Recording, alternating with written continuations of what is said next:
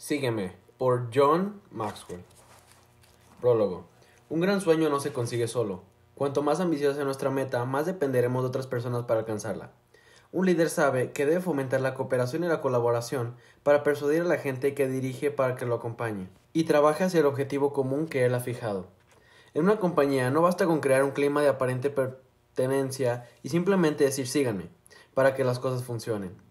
Ser una persona de influencia en una organización supone primero un trabajo de desarrollo personal y recién después asumir el desafío de construir vínculos con los empleados, inspirarlos para potenciar sus capacidades individuales.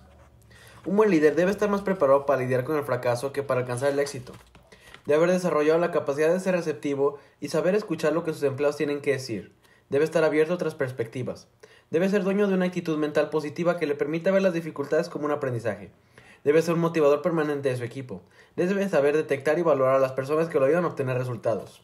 El Dr. Maxwell ha dedicado toda su vida a ayudar a otros a triunfar. A través de sus textos, enseña que cualquier persona puede tener éxito si se lo propone y si se logra dominar cuatro habilidades claves.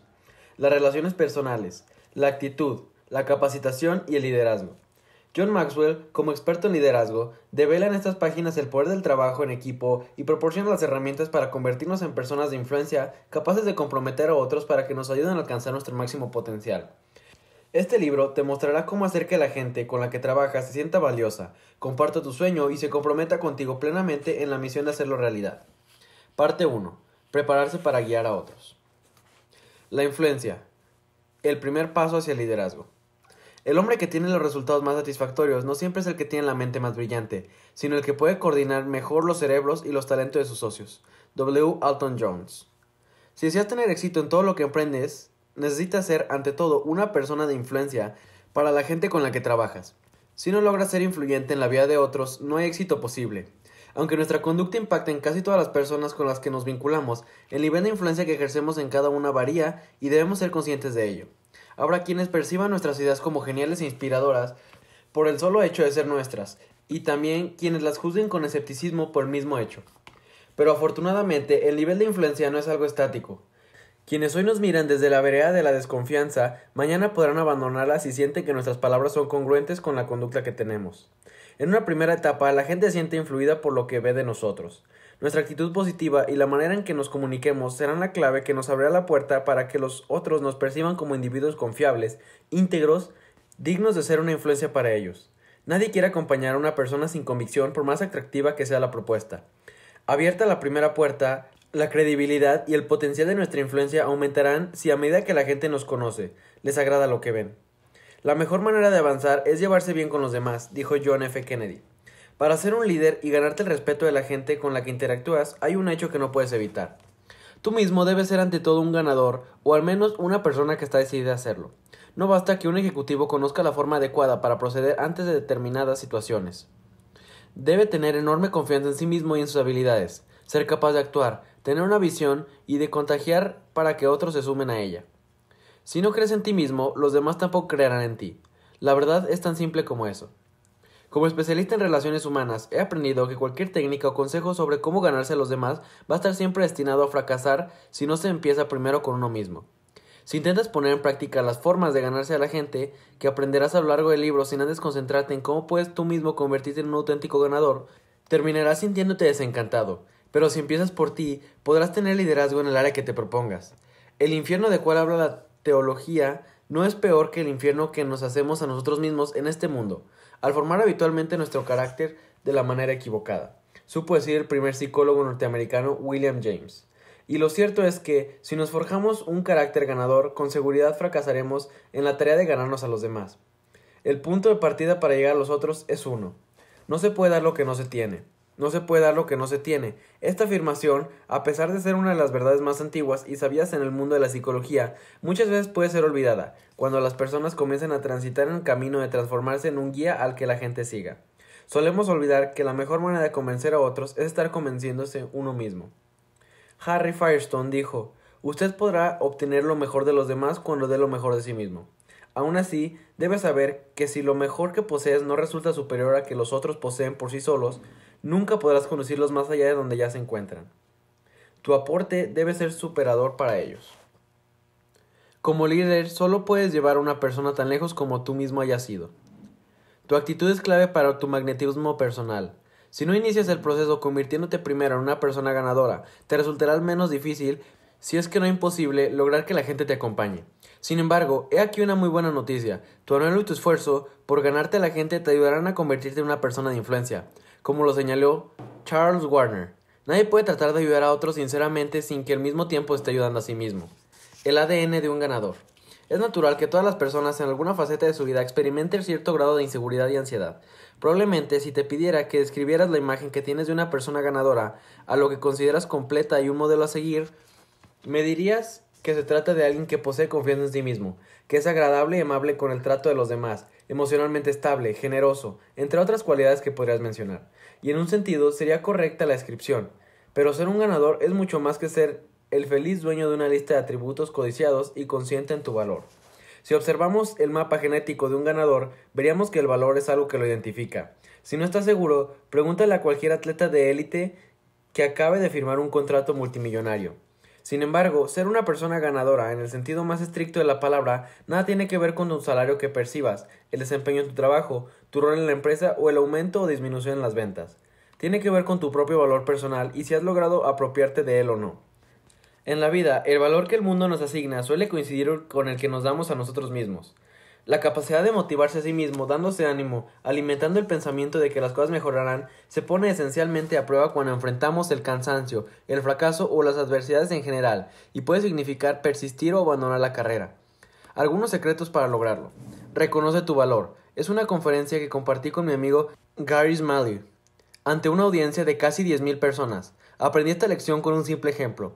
Gary sostuvo en su mano un billete de 50 dólares y preguntó al auditorio ¿Quién desea este billete de 50 dólares? Como era lógico esperar, muchos asistentes levantaron su mano en señal de deseo. Voy a darle este billete a uno de ustedes, continuó Gary. Pero primero permítame rogarlo. Luego volvió a preguntar ¿Alguien todavía lo quiere? Las mismas manos interesadas seguían levantadas. ¿Qué tal si hago esto? dijo, e inmediatamente arrojó los 50 dólares al suelo y tras pisotearlos fuertemente con su zapato volvió a preguntar ¿Y ahora alguien todavía está interesado en tener ese billete arrugado y sucio? Aún muchas manos seguían levantadas esperando obtener el billete. Todos hemos aprendido una lección valiosa, dijo. No importa lo que yo haga con el billete, ustedes todavía lo quieren porque no se ha devaluado. Todavía vale 50 dólares. El ejercicio de Gary devela una verdad. En ocasiones, nuestra vida, cuando atravesamos distintas circunstancias, nos arrugamos, caemos y nos ensuciamos con las decisiones que tomamos, y puede que por ello terminamos por perder nuestra autoestima sentirnos sin valor, insignificantes ante nuestros propios ojos y de los demás. Pero no importa lo que haya sucedido o esté por suceder, nuestro valor como seres humanos es algo que nunca se pierde. No hay nada que pueda ser capaz de quitarnos ese valor. Acepta tu valor. ¿Cuántas veces has escuchado a tus amigos, colegas o familiares decir algo no está bien en él? Lo que esta frase nos muestra en realidad es que estamos frente a una persona que no está avanzando porque algo le detiene e impide que esté a gusto consigo misma. Es lo que los psicólogos llamamos una persona que no tiene autoaceptación. Seamos sinceros y realistas. Todos en mayor o menor medida sufrimos de inseguridad y desearíamos poder cambiar algunas cosas de nosotros mismos. Pero por fortuna o desgracia, hay ciertas cosas que no podemos modificar porque son exactamente eso, nuestras. Quizás sientes que no naciste con la apariencia que te hubiera gustado o la estatura que hubieras soñado, o que no eres todo lo simpático que te gustaría ser. En este juego, los genes bajaron las cartas y te tocaron cosas que hacen a tu valor personal que tal vez hayas rechazado o tenido que aceptar. El problema surge cuando no hemos podido aceptar lo que nos tocó en suerte y entonces quedamos cautivos del deseo profundo de haber sido algo que no somos. Es por ello que nos pasamos la vida tratando de compensar nuestras inseguridades. El término aceptación proviene del latín ad capere, que significa tomar para uno mismo. Nuevamente, para que otros te acepten, debes primero aceptarte tú mismo. Nunca podrás ganarte la simpatía de la gente a menos que adoptes la actitud correcta para transformarte en un ganador. No puedes hablar de aquello que no sabes, no puedes expresar lo que no sientes, no puedes traducir lo que no entiendes, no puedes transferir lo que no tienes, no puedes dar lo que no posees, no puedes guiar lo que no has vivido. Primero debes ser lo que quieres decir. John Maxwell. Incrementa tu valor. Tal vez en este momento ya estás en condiciones de reconocer y aceptar tu valor. Felicitaciones, el primer paso ya lo has dado. Ahora es momento de resolver aquellos problemas que te impidan aumentar tu valor ante los ojos de los demás. Necesitas cambiar quién eres, modificando todo aquello que sea a tu alcance y te sea posible transformar. Puede que estés librando una batalla con tu temperamento porque sientes que es muy fuerte o demasiado débil. Quizá poner límites o asumir nuevas responsabilidades te resulte difícil o puede que tu actitud en general necesite algunos ajustes. Todos tenemos obstáculos que podemos vencer, solo hay que decidirse a superarlos. James Velasco, en su libro Teaching the Elephant to Dance, narra de qué manera los entrenadores encadenan a los jóvenes elefantes con gruesas cadenas a estacas clavadas en el suelo. De esa manera, el elefante aprende desde sus primeros meses de vida a quedarse quieto en un solo lugar. Así, cuando es grande, a pesar de tener la fuerza suficiente para arrancar la estaca y escaparse, nunca intenta huir. Muchas veces, la estaca ya no es necesaria, basta el aro metálico en una de sus patas para que el elefante permanezca en un mismo sitio. Al igual que los elefantes, muchas personas se encuentran atadas a un condicionamiento previo, a una estaca que no existe más que en sus mentes. Del mismo modo que la cadena mantiene al elefante sin moverse, algunas personas autoimponen límites en su progreso personal. Ningún hombre puede escalar más allá de las limitaciones de su carácter. John Morley. Cree en tu valor. Una vez que has logrado reconocer, aceptar e incrementar tu valor personal, tienes que creer con absoluta convicción al punto de estar dispuesto a depender de él. El boxeador Chuck Webner nunca aprendió esta lección. Webner, horas antes de pelear con el campeón mundial Mohamed Ali, le dio a su esposa una bata color rosa y le dijo, pronto estarás durmiendo con el campeón mundial de los pesos pesados. Ali ganó por nocaut técnico, 19 segundos antes de que finalizara la pelea. Pero hubo un momento de gloria para Webner, cuando en el noveno asalto un fuerte golpe en el pecho de Ali hizo que el campeón se desplomara. Mientras Webner veía cómo su contendiente caía, le dijo a su entrenador Al, arranca el auto, nos vamos al banco, ya somos millonarios. Y el entrenador le respondió Mejor date la vuelta porque se está poniendo de pie. Tras haber perdido la pelea, su esposa le recordó con ironía lo que le había dicho ¿Voy al cuarto de Ali o él viene al mío? Hasta aquí una anécdota más de un boxeador que creyó haber ganado una pelea antes de que la contienda hubiera llegado a su fin. Sin embargo, un hecho hizo que el episodio tomara más trascendencia. Un escritor con muy poca fortuna en ese momento tuvo la brillante idea de ponerse a escribir lo que había visto. Tras la pelea, fui a mi casa y empecé a escribir. Escribí durante tres días sin descanso. De este modo, la estrella de Hollywood, Sylvester Stallone, contó el origen de la famosa película Rocky. Stallone por entonces se encontraba atravesando una apretada situación económica. Un estudio le había ofrecido por el guion de boxeador la suma, por entonces sin precedentes, de 400 mil dólares. Sin embargo, el actor y escritor prefirió aceptar solo 20 mil dólares y reservarse el derecho de encarnar el personaje Rocky a cambio del pago de un salario mínimo de 340 dólares por semana. Webner recibió también una oferta por parte del estudio, ya que la película estaría inspirada en su vida. El boxeador podía optar por percibir una comisión de 70 mil dólares por única vez o el 1% de las ganancias netas que resultarán de la película una vez estrenada. Webner, en su afán de tener dinero seguro, optó por la primera propuesta, decisión que le costó finalmente unos 8 millones de dólares y seguramente unos cuantos reproches. Cuando te vendes mal, sucede lo mismo contigo. Si no eres capaz de creer que posees algo valioso para ofrecer a otra persona, nunca podrás convertirte en un auténtico líder. El buen carácter debe ser más elogiado que el talento sobresaliente. La mayoría de los talentos son hasta cierto punto un don. En cambio, el buen carácter no es algo que se nos da. Tenemos que desarrollarlo paso a paso mediante el pensamiento, la elección, la valentía y la determinación. John Luther. Mientras seas capaz de reconocer desde lo más profundo tu valor, logres aceptarlo, trabajes para incrementarlo y creas con él, con fe ciega, las formas para convertirte en una persona que atraiga seguidores, que aquí describo, podrán convertirse en parte de tu carácter. Todas las personas tienen valor personal y algo valioso que ofrecer a los demás. Mi misión ahora es ayudarte a descubrirlo y alentarte a que alcances tu potencial. Está en ti convertirte en un verdadero guía y ayudar a otras personas a superarse. Una mirada al carácter. Los dones y los talentos nos han sido dados. El carácter lo desarrollamos nosotros. El carácter que forjemos es decisivo porque nos permitirá ganarnos la confianza de los demás. Solo de la mano de un buen carácter del éxito con las personas será duradero. El carácter fuerte comunica credibilidad y firmeza. El buen humor genera simpatía y empatía. De nuestro carácter dependerá la perspectiva que tengamos de las cosas. Mentalidad de abundancia. Stephen Covey, en su libro Los siete hábitos de la gente altamente efectiva, plantea el concepto de tener una mentalidad de escasez o de abundancia. La gente que tiene una mentalidad de escasez está convencida de que la vida ofrece una cantidad limitada de cosas, llámese dinero u oportunidades. Perciben al mundo como un pastel pequeño con un número acotado de porciones. En consecuencia, luchan salvajemente por obtener su porción y luego se aferran a ella porque piensan que no habrá otra. Es esa rodaja o la nada. En cambio, las personas que tienen una mentalidad de abundancia creen que existe mucho de todo. Ante un pastel que se le está por terminar, una persona con mentalidad de abundancia pensaría que la solución sería hornear otro pastel para que vuelva a haber porciones disponibles. Para ello, siempre existe la posibilidad de encontrar nuevas oportunidades o incrementar el dinero. En mi opinión, existen dos clases de personas, las que toman la rebanada o las que se ocupan de hacer el pastel. Las primeras son las que agarran la rebanada para sí y la consumen tratando de satisfacer sus propias necesidades. Su único horizonte son ellas mismas. Las que hacen son personas que crean, que comparten, que impulsan el triunfo de los demás y que hacen que las cosas sucedan. Dan sin esperar nada a cambio, y lo hacen porque están convencidas de que no se quedarán sin recursos para compartirlos con otros. Cuando no damos, por esa mentalidad de escasez, lo poco que tenemos disminuye. Cuando damos generosamente y con una mentalidad de abundancia, lo que damos se multiplicará, solía decir el pastor y profesor Henry Nowen. Si creemos firmemente en la abundancia, eso será lo que la vida nos dé. Ahora, si pensamos en que el pastel es insuficiente, será escasez lo que obtendremos en todas las áreas. 2. Sé el director de tu orquesta.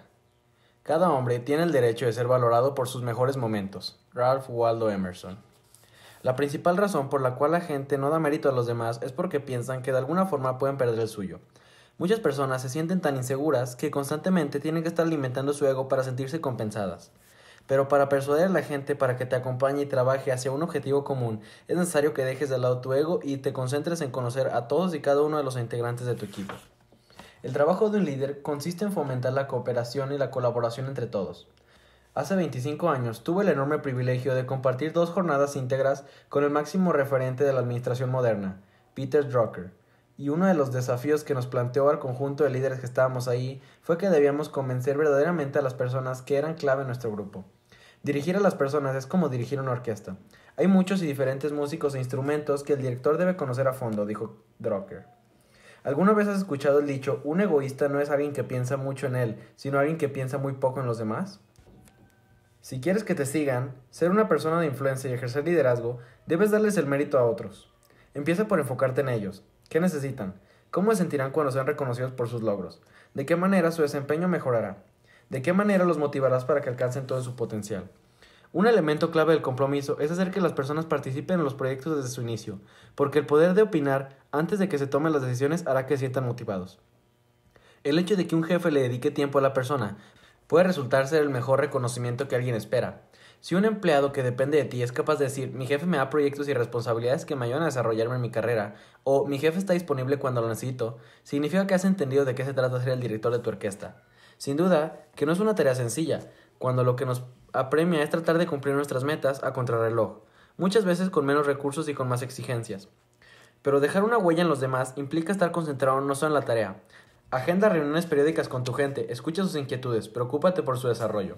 En ocasiones, mejorar el reconocimiento de la empresa no depende de introducir costosos sistemas de premios formales, sino de mejorar tu liderazgo en general. Palabra de líder. Si algo sale mal, fue por mi responsabilidad. Si algo sale más o menos bien, es porque nosotros lo hicimos. Si algo sale excelente, es porque todos ustedes lo hicieron. Motivar o manipular. Como te he enseñado desde el comienzo de este libro, el camino para ser una persona que despierte fascinación en los demás empieza por una actitud contigo mismo. Recién entonces podrás avanzar hacia los otros. Se sabe que para ser un líder se necesita tener a quienes liderar. Pero ten presente que el liderazgo no es una forma de dominación, sino el arte de persuadir a la gente para que oriente su trabajo hacia el objetivo común que tú les has fijado.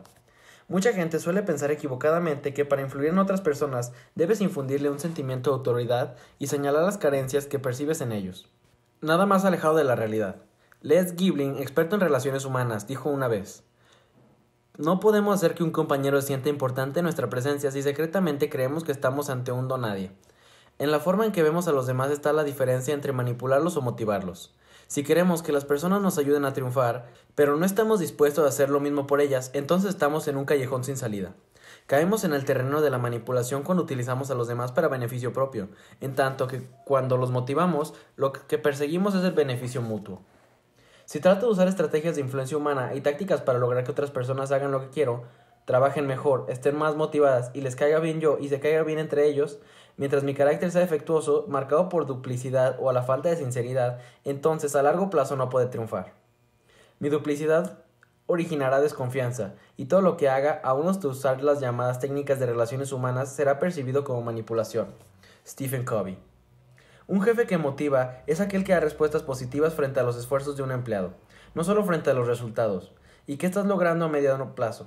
Que ese empleado haga el mayor esfuerzo para satisfacer tus expectativas simplemente porque es un modo de corresponder en la fe que has depositado en él. Ahora pregúntate, ¿cómo ves a tus seguidores? ¿Ellos son un medio o un fin para ti? Las personas quieren ser tratadas como seres humanos y no como cajas de resonancia del ego de otras. Quieren ser tratadas como el objeto final, no como un medio para la gratificación de la vanidad de los otros, señaló el autor Sidney J. Harris. No podrás ser una persona que influya positivamente en quienes te rodean si piensas que, cuando un empleado se demora, es lento, cuando tú lo haces, es minucioso. Cuando un empleado no ejecuta una tarea, es un perezoso. Cuando tú no lo haces, es porque estás ocupado. Cuando un empleado hace algo sin que sea encargado, excede sus límites. Cuando tú lo haces, es iniciativa y proactividad. Sin duda, la actitud que adoptes hacia la persona de tu organización es una de las elecciones más importantes que tienes frente a ti. La mejor manera de mostrar confianza en la gente con la que trabajas es centrándote en sus fortalezas. No subestimes a las personas. Como líder, debes saber que solo puedes conectarte con tu equipo y dirigirlo hacia el objetivo que le has fijado cuando eres capaz de valorar a cada integrante en todas sus dimensiones.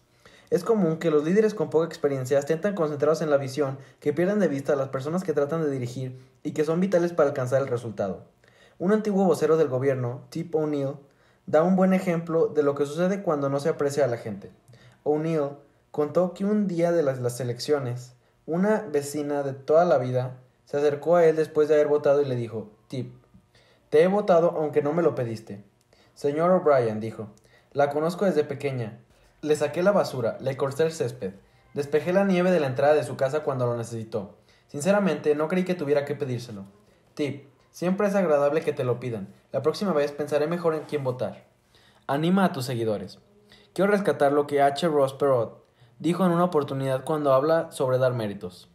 Recompensa a sus empleados mientras el sudor todavía se les ve en las cejas. ¿No es cierto que el mejor momento para reconocer el mérito de los demás es cuando la cantidad de trabajo y sacrificio realizado todavía está recientemente en sus mentes? ¿El reconocimiento tardío es verdadero reconocimiento? ¿Por qué esperar? Hace varios años, un equipo de psicólogos condujo un experimento para evaluar la capacidad de las personas para resistir el dolor. Los especialistas midieron cuánto tiempo era capaz de estar una persona descalza con los pies sumergidos en un recipiente con agua helada. Luego de analizar a varios individuos, advirtieron que algunos habían sido capaces de permanecer el doble de tiempo con los pies en el agua. Se preguntaron entonces qué factor había hecho esa diferencia. La respuesta fue contundentemente el ánimo. Quienes habían permanecido expuestos a esas condiciones por más tiempo eran quienes habían estado acompañados por otra persona que los apoyaba y los alentaba para seguir durante toda la experiencia. Cuando alguien se siente animado, puede hacer frente a cualquier cosa y sobreponerse a las peores dificultades. El trabajo de un líder consiste en lograr la satisfacción de sus colaboradores a tiempo, reconociendo sus competencias y motivándolos a superarse. Soy un convencido de que todo se derrumba o se mantiene en pie por el liderazgo que se ejerce. Más aún, el éxito de un líder está en la máxima utilización de las capacidades de sus subalternos. Adúlame, y es posible que no te crea. Critícame y quizás no me caigas bien. Ignórame y a lo mejor no te perdono. Anímame y no te olvidaré. William A. Ward. Hazlo por escrito. Por años he tenido la práctica de escribir notas personales a quienes me acompañan en mis tareas, para agradecerles o estimularlos. La mayoría de las veces olvido lo que he escrito ni bien entrego la nota. Pero en más de una oportunidad alguien a quien he reconocido con una nota mía me la ha mostrado y me ha dicho lo que significó para él. Quizá te resulte difícil o improductivo ocupar parte de tu tiempo en escribir unas palabras de estímulo o reconocimiento a quienes te rodean porque crees que ya lo has dicho todo verbalmente. Sin embargo, debes saber que cuando se te da mérito a las personas de manera verbal, se los está animando de una manera fugaz, solo por ese instante. Cuando se lo hace por escrito, se le está animando para toda la vida.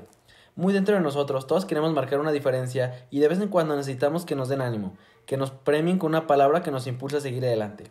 En el libro Chocolate Caliente para el Alma, la maestra y religiosa Helen Mrosla relata que durante una de sus clases de matemáticas les encomendó a sus alumnos que estaban muy disgustados con la tarea que se tomaran un respiro e hicieran un simple ejercicio. Les pidió que escribieran alguna cualidad o característica que les gustara al compañero que tenían a su lado. Luego, Helen recopiló todas las notas y se las entregó a cada uno de sus alumnos. Años más tarde, Mark, uno de sus estudiantes, perdió la vida en Vietnam durante el funeral en el que estaban presentes Helen y algunos de sus antiguos alumnos, el padre de Mark miró a quienes habían sido compañeros de su hijo y les dijo Encontraron este papel en el bolsillo de Mark cuando murió. Se trataba de la nota que había recibido de su maestra en aquella clase de matemáticas. No subestimes el impacto que un artículo o una nota pública personal con unas pocas palabras amables pueden lograr. Lo que a ti te tomará unos pocos minutos puede ser algo que inspire a otra persona por décadas. No te preocupes por escribir a la perfección, simplemente hazlo con el corazón. Motívalos con sinceridad. Hay un chiste que me resulta muy inspirador. Un anciano estaba agonizando en su cama y su esposa estaba sentada cerca de él. Cuando él abrió los ojos y la vio, le dijo Aquí estás, Agnes, a mi lado de nuevo. Sí, querido, le contestó ella. Ahora que lo pienso, dijo el anciano. Recuerdo todas las veces que has estado a mi lado. Estuviste a mi lado cuando recibí la noticia de reclutamiento y tuve que ir a la guerra. Estuviste a mi lado cuando nuestra primera casa se quemó. Cuando tuve el accidente que despedazó nuestro auto. Y estuviste a mi lado cuando mi negocio se fue a la bancarrota y lo perdimos todo. Sí, querido, dijo su esposa. El anciano suspiró. Agnes, le dijo, tú me has traído mala suerte. Puede parecer obvio, pero quiero decirlo de tal forma que no se malinterprete. Nunca digas algo que no creas por el solo hecho de animar a alguien. Si no eres sincero, no harás que las personas sientan bien, harás que se sientan engañadas, defraudadas. Cuando des el mérito a los demás, necesitas hacerlo francamente. Darles el crédito a los integrantes de tu equipo de trabajo o a tus colegas es mucho más que una buena actitud. De acuerdo con los estudios, cuando tú le das el mérito a otros, estás cambiándole su bioquímica y creando una huella emocional que te relacionará con los triunfos que ellos obtengan. Mi amiga Carol Voss me contó la historia de alguien que marcó la diferencia en su vida. El profesor de alemán, mientras me devolvió mi examen final, me dijo, Carol, me gustaría hablar contigo acerca de tu futuro. Llevo años enseñando en la Universidad del Sur de California y muchos alumnos han pasado por mis clases. Tú eres una de las más brillantes, pero el problema es que no lo sabes. Quiero que recuerdes siempre lo que voy a decirte. Puedes hacer lo que quieras hacer, puedes hacer lo que quieras hacer, pero necesitas creer primero en ti misma. Cuando regresé a mi casa, se lo comenté a mi esposo Jim y él me dijo, tu profesor tiene razón, creo que debes estudiar derecho y ser una abogada. Finalmente, seguí el consejo de ambos. Me esmeré por graduarme y lo hice siendo la primera de mi clase. En tanto, trabajaba de oficinista en una firma de abogados donde aprendí a ser una abogada de la corte, pero quedé devastada cuando la firma decidió contratar a todos los oficinistas varones. Me di cuenta entonces de que debía iniciar mi propia firma para ser abogada de la corte. Después de 25 años, tengo un maravilloso equipo de trabajo en Boss and Glacier. Y cuando pienso en cómo comenzó todo, recuerdo a aquel profesor de la universidad, porque él se convirtió en una de las cinco personas más influyentes en mi vida. ¿Cómo ser un motivador? 1. Valora el poder del ánimo. Es vital como el aire. 2. Cree en las personas. Si no eres capaz de creer en ellas, nunca podrán creer en ti. 3. No hables, actúa. Si quieres que otros hagan algo, comienza dando el ejemplo. 4. Recuerda los nombres. Hace que las personas sientan importantes para ti. 5. Da una reputación. Si la gente tiene una reputación que mantener, se preocupará por ponerse al nivel de tus expectativas. 6. Celebra los triunfos. El reconocimiento motiva a las personas a superarse e ir por más. 7. Alimenta el sentido de la pertenencia. Cuando las personas sienten parte de una organización, no se desaniman fácilmente. 8. Desafíalos. Para muchos, el incentivo más poderoso es retarlos a subir el próximo peldaño. Cuestión de perspectiva. Un joven recién graduado de la carrera de psicología había sido convocado por la universidad para dar un discurso sobre calidad de vida ante un grupo de ancianos. Entusiasmado, les habló a lo largo de más de una hora sobre cómo debían vivir con plenitud sus últimos años. Al finalizar el discurso, una mujer de 80 años se acercó al inexperto conferencista y le dijo Quiero felicitarlo porque su presentación fue excelente, pero también quiero decirle algo que entenderá dentro de unos años. No sabe de qué está hablando. Al relacionarnos con otros, la mayoría de nosotros solemos caer en el error de no ver más allá de nuestra propia experiencia. Tendemos a ver a las otras personas y sus vicisitudes por las que atraviesan desde nuestra posición o circunstancia y no solo nos privamos de poder mirar las cosas desde una perspectiva diferente, sino que también atentamos contra una buena comunicación. Pat McNally, jugador de la Liga Nacional de Fútbol Americano, dijo, en Harvard decían que no era más que un deportista con cabeza hueca. Los futbolistas profesionales me ven como un intelectual. Aunque McNally no había cambiado, sí lo habían hecho las percepciones que la gente tenía de él. La empatía personal es otra cualidad que debes fomentar en ti si quieres desarrollar una actitud receptiva para estar atento y entender las necesidades de las personas que te acompañan en tu organización. Ser una persona empática te llevará a no juzgar las capacidades del otro, sino aceptarlas. La empatía es sumamente positiva por cuanto propicia un clima distendido de trabajo que conduce mejor a un equipo a obtener resultados. 3. Claves para identificar a un auténtico líder. Para la mayoría de las personas, lo que les impide avanzar no es lo que son, es lo que creen que no son.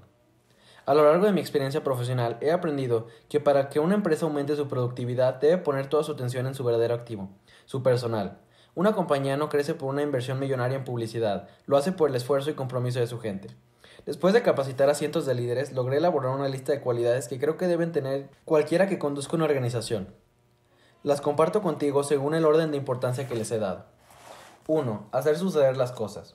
El millonario filántropo Andrew Carnegie dijo, a medida que me hago mayor, presto menos atención a lo que dicen los hombres. Me limito a observar lo que hacen. Ese resultó ser un consejo de gran utilidad. Y al observar lo que la gente hace, descubrí que quienes están conmigo son aquellos que hacen suceder las cosas. Estas personas tienen la cualidad de descubrir nuevos recursos en sitios que parecían desérticos. Hallan perspectivas donde parecían no haberlas. Son capaces de crear oportunidades donde uno creía que no existían. Toman algo común y lo convierten en excepcional. Las excusas no son parte de ellos. Siempre encuentran la manera de obtener resultados. Hace más de 20 años leí un artículo que me impresionó en una revista y lo recorté porque es un buen ejemplo de cómo alguien que tiene mucho potencial realmente sabe hacer que las cosas se den. Se titulaba Sell, Not Spell. Relataba la historia de un vendedor recién contratado que había escrito su primer informe en la casa matriz tras una semana de haber trabajado en su área. El gerente de ventas quedó poco menos que estupefacto al advertir que había contratado a un analfabeto. El informe decía, fui a ver a un coso que nunca compró nada y le vendí una buena orden. Ahora me voy para Nueva York. El gerente entró en pánico al leer el informe, pero antes de que pudiera convocar al vendedor para despedirlo, recibió un segundo escrito que decía, estoy aquí, hace dos días, y le vendí medio millón.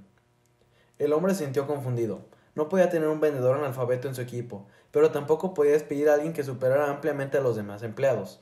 Entonces hizo todo lo que buen gerente. Depositó el problema en manos del presidente de la compañía. A la mañana siguiente, todo el mundo en el departamento de ventas quedó asombrado al ver las dos cartas del vendedor exhibidas en la cartelera, acompañadas por el siguiente memo del presidente. Hemos pasado demasiado tiempo tratando de escribir bien en vez de vender. Tratemos todos de levantar la puntería. Lean estas dos cartas de nuestro mejor vendedor. Está haciendo un trabajo excelente y ustedes deberían de ir y hacer como él. La gente que tiene potencial, aun en las peores circunstancias o frente a dificultades que pueden parecer difíciles de superar, produce logros. Si quieres llegar lejos en camino al éxito, asóciate con otros que quieran saber cómo hacer que las cosas ocurran. Ningún trabajo tiene futuro. El futuro es de la persona que tiene el trabajo. George W. Crane. 2. Ven las oportunidades y las aprovechan. Muchas personas reconocen las oportunidades a destiempo cuando ya pasaron y se lamentan, pero anticiparse a ellas y verlas venir es muy distinto. Las oportunidades rara vez se presentan con letras iluminadas que las identifican. Por eso hay que aprender a detectarlas y aprovecharlas. Las mejores personas de quienes se puede ser mentor no se sientan a esperar que las oportunidades toquen su puerta. Asumen la responsabilidad de salir a buscarlas. Es algo similar a las dos maneras de ir al aeropuerto a buscar a una persona que no conocemos. Podemos optar por tomar el camino fácil y hacer un cartel con el nombre de quien esperamos, pararnos cerca del área de retiro de equipaje, levantar el cartel y esperar a que la persona nos encuentre. Si nos ve grandioso, si no, seguimos esperando hasta que aparezca y sea ella la que nos encuentre. La otra manera implica un mayor esfuerzo, averiguar qué aspecto tiene, ubicarnos en un lugar estratégico cerca de la puerta indicada y buscarla hasta encontrarla. Entre los dos enfoques hay un mundo de diferencia y de esfuerzo. El motivo por el cual tantas personas nunca llegan a ninguna parte es que cuando la oportunidad llama a su puerta están en el jardín buscando tréboles de cuatro hojas. Walter P. Chrysler. Ellen Metcalf dijo, me gustaría modificar la idea de estar en el sitio indicado en el momento correcto. Hay muchas personas que estaban en el sitio adecuado pero no lo sabían. Hay que reconocer cuando el lugar y el tiempo se conjugan y aprovechar esa ocasión. Hay muchas oportunidades allá afuera.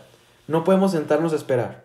Es cierto que las cosas les llegan a las personas que esperan, pero solo llegan aquellas que otros dejaron pasar.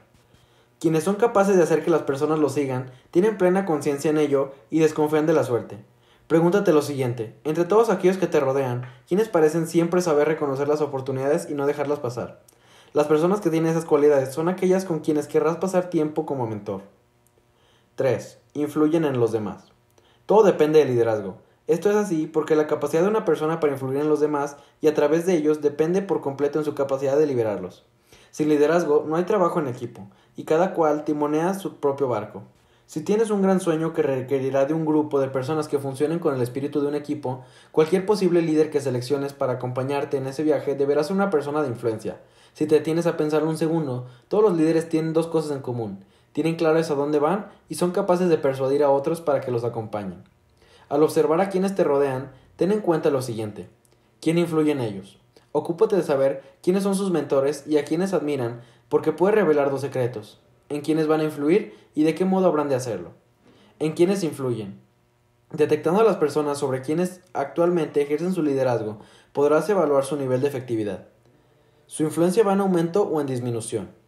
Para saber si está frente a un líder consumado o potencial, debes detenerte a observar el rumbo que lleva su nivel de influencia. Para poder evaluar la capacidad de liderazgo de alguien, no mires solo a la persona, observa también a todos aquellos sobre quienes ella influye. La cuenta es simple, a mayor influencia, mayor potencial de liderazgo y mayor habilidad para lograr que otros trabajen juntos. 4. Agregan valor. Probablemente ya lo has notado, pero todas las personas que te rodean ejercen un efecto sobre ti y sobre tu capacidad de cumplir tu visión. Algunas parecen ponerte obstáculos y siempre toman más de lo que dan para cambio. Otras te suman, te agregan valor y mejoran todo lo que haces. Cuando se unen a ti, generan una sinergia que los lleva a ambos a un nuevo nivel de desarrollo personal. Muchas personas maravillosas me han agregado valor a lo largo de mi vida. Muchas se han propuesto ayudarme como si fuera su objetivo más importante. Ellas complementan mis debilidades y promueven mis fortalezas. Su compañía en el viaje amplía mi visión. Solo tal vez habría podido alcanzar algún éxito. Pero me han hecho mejor de lo que podía haber sido sin ellas. A cambio, siempre les di lo mejor de mí. Confié en ellas tácitamente, les brindé la oportunidad de marcar una diferencia y con eso agregó valor también a sus vidas. Muy probablemente en tu entorno hay personas con quienes experimentas sinergia, con quienes te inspiras y se conducen mutuamente a niveles superiores. ¿Se te ocurre a alguien mejor para que te acompañe en el camino del éxito? No solo te ayudarán a llegar lejos, sino que además del viaje será mucho más atractivo. No tomes decisiones porque sean fáciles, no tomes decisiones porque sean baratas, no tomes decisiones porque sean populares, toma decisiones que sean correctas. Theodore Herzberg 5. Atrae a otros líderes. Antes de emprender la búsqueda de potenciales líderes a quien desarrollar, es importante que tomes conciencia de que existen dos clases, los que atraen seguidores y los que atraen otros líderes. Quienes atraen a seguidores y forman equipos nunca podrán hacer más allá de lo que pueden tocar o supervisar personalmente. Por cada individuo con quien interactúan, su influencia recae sobre uno solo, un seguidor. En cambio, quienes atraen a otros líderes multiplican su influjo, dado que influyen en muchas otras personas a través de esa interacción. Su equipo puede ser sumamente poderoso, especialmente si los líderes a quienes convocan también atraen otros líderes. Además de la influencia, existen otras diferencias a tener en cuenta entre la gente que atrae seguidores y la que atrae líderes. Algunas de ellas. Los líderes que atraen seguidores necesitan que los necesiten, buscan desesperadamente reconocimiento, se concentran en las debilidades de los demás, se aferran al poder, pasan su tiempo con los demás, son buenos líderes, experimentan cierto éxito. Los líderes que atraen líderes aspiran a tener sucesores, se concentran en las fortalezas de los demás, buscan compartir el poder y delegar, invierten su tiempo en los demás, son grandes líderes, experimentan un éxito increíble. Cuando busques personas para que te acompañen en tu viaje hacia el éxito, elige líderes que atraigan otros líderes. Ellos harán que tu triunfo se multiplique. Pero también debes saber que a la larga solo puedes guiar a personas cuya capacidad de liderazgo sea menor o igual a la tuya. Para atraer líderes mejores tendrás que seguir desarrollando tu propia capacidad de liderazgo. De esta manera, tu equipo y tú seguirán creciendo en potencial y en efectividad. 6. Equipan a otros. Una cosa es atraer otras personas para que te acompañen en tu viaje de éxito y otra bien distinta es equiparlas con una hoja de ruta. Siempre es mejor dar a otros los medios para que lleguen a un determinado lugar en vez de dar una simple invitación para ir. Ten esto presente cuando busques posibles colaboradores. Una persona que solo posee carisma puede atraer a muchos, pero quizá no logre persuadirlos de acompañarla en pos de un sueño. Sin embargo, un líder que además equipa a otros es capaz de capacitar a un ejército de personas exitosas, preparadas para ir a cualquier parte y para conseguir casi cualquier cosa, como lo mencionó Harry Firestone. Solo desarrollando a otros triunfamos de forma permanente. 7. Aportan ideas inspiradoras. Víctor Hugo, el mayor dramaturgo del siglo XIX, observó: No existe nada más poderoso que una idea cuyo momento ha llegado. Las ideas son el recurso más importante con el que puede contar una persona exitosa. Y cuando te acompaña gente creativa, las ideas inspiradoras brotan como el terreno fértil. Si tanto tú como quienes te rodean tienen continuamente buenas ideas, todos poseen una mejor oportunidad de alcanzar su máximo desarrollo. El autor de Freeing the Corporate Mind How to Spur Innovation in Business, Art Conwell, sostiene que la fuente de ideas es el pensamiento creativo. Para crearlas, él sugiere que las únicas ideas verdaderamente malas son aquellas que se mueren sin dar origen a otras. Si quieres dar buenas ideas, necesitas muchas ideas. No importa si no se rompió, probablemente aún así necesite arreglo. Las grandes ideas no son más que la reestructuración de lo que ya sabes. Cuando sumas todas tus ideas, el resultado debe representar tu avance escollante. Sin duda, eres capaz de generar buenas ideas, probablemente más de lo que tú crees, pero nunca son demasiadas, así como nunca se tiene demasiado dinero o demasiados recursos cuando estás trabajando en un proyecto. Por eso es fundamental rodearse de gente y continuar inspirándonos con sus ideas, y cuando encuentras a alguien con quien tienes una afinidad natural que los inspira a ambos a buscar la grandeza, notarás que siempre tienen más ideas que tiempo para concretarlas. 8. Poseen actitudes inusualmente positivas. Una de las claves para tener éxito es tener una buena actitud al punto que en ocasiones determina hasta dónde podrás llegar. Pero no se debe subestimar la importancia de una actitud positiva en la gente que te rodea. Cuando viajas con otros, solo puedes ir tan rápido como el más lento de tus acompañantes y tan lejos como puede ir llegar el más débil. Estar rodeado de personas con actitud negativa es como correr una carrera con una bola y una cadena sujeta al tobillo. Podrás correr un tramo, pero no vas a tardar en cansarte y no podrás llegar tan lejos como quisieras. 9. Cumplen sus compromisos. Hay quienes sostienen, y con razón, que compromiso es otro nombre de éxito. El periodista Walter Cronkite declaró, no imagino que alguien alcance el éxito si no ha puesto todo de sí en este juego de la vida. Veamos cómo describe el motivador Joe Griffin las ventajas del compromiso. No puedes impedir que una persona comprometida tenga éxito. Si le pones obstáculos en su camino, los toma como peldaños y por ellos alcanzará la grandeza. Si le quitas su dinero, utilizará la pobreza como motor para seguir adelante. La persona que triunfa tiene un programa, fija su rumbo y lo mantiene, prepara sus planes y los lleva a cabo, avanza directamente hacia su objetivo, no se deja empujar a uno y a otro lado cada vez que se enfrenta a una dificultad. Si no puede pasar por encima, pasa a través de ella. Cuando logras que las personas que componen tu equipo compartan tu grado de compromiso, el éxito es inevitable. El compromiso ayuda a superar los obstáculos sin importar cuán complejos se vean y a seguir avanzando. Esta es la clave del triunfo en todos los aspectos de la vida. El compromiso puede llevarte muy lejos en el matrimonio, en los negocios, en desarrollo personal, en los deportes, en todo. Enemigos del compromiso. La derrota como estilo de vida. La creencia errónea de que la vida debe ser fácil. La idea equivocada de que el éxito es tu destino. Una actitud y pensamiento negativos. La aceptación de los límites de otras personas. El temor irracional al fracaso. La falta de visión. 10. Tienen lealtad. La última cualidad que debes procurar encontrar en quienes vayan a acompañarte en tu viaje es la lealtad.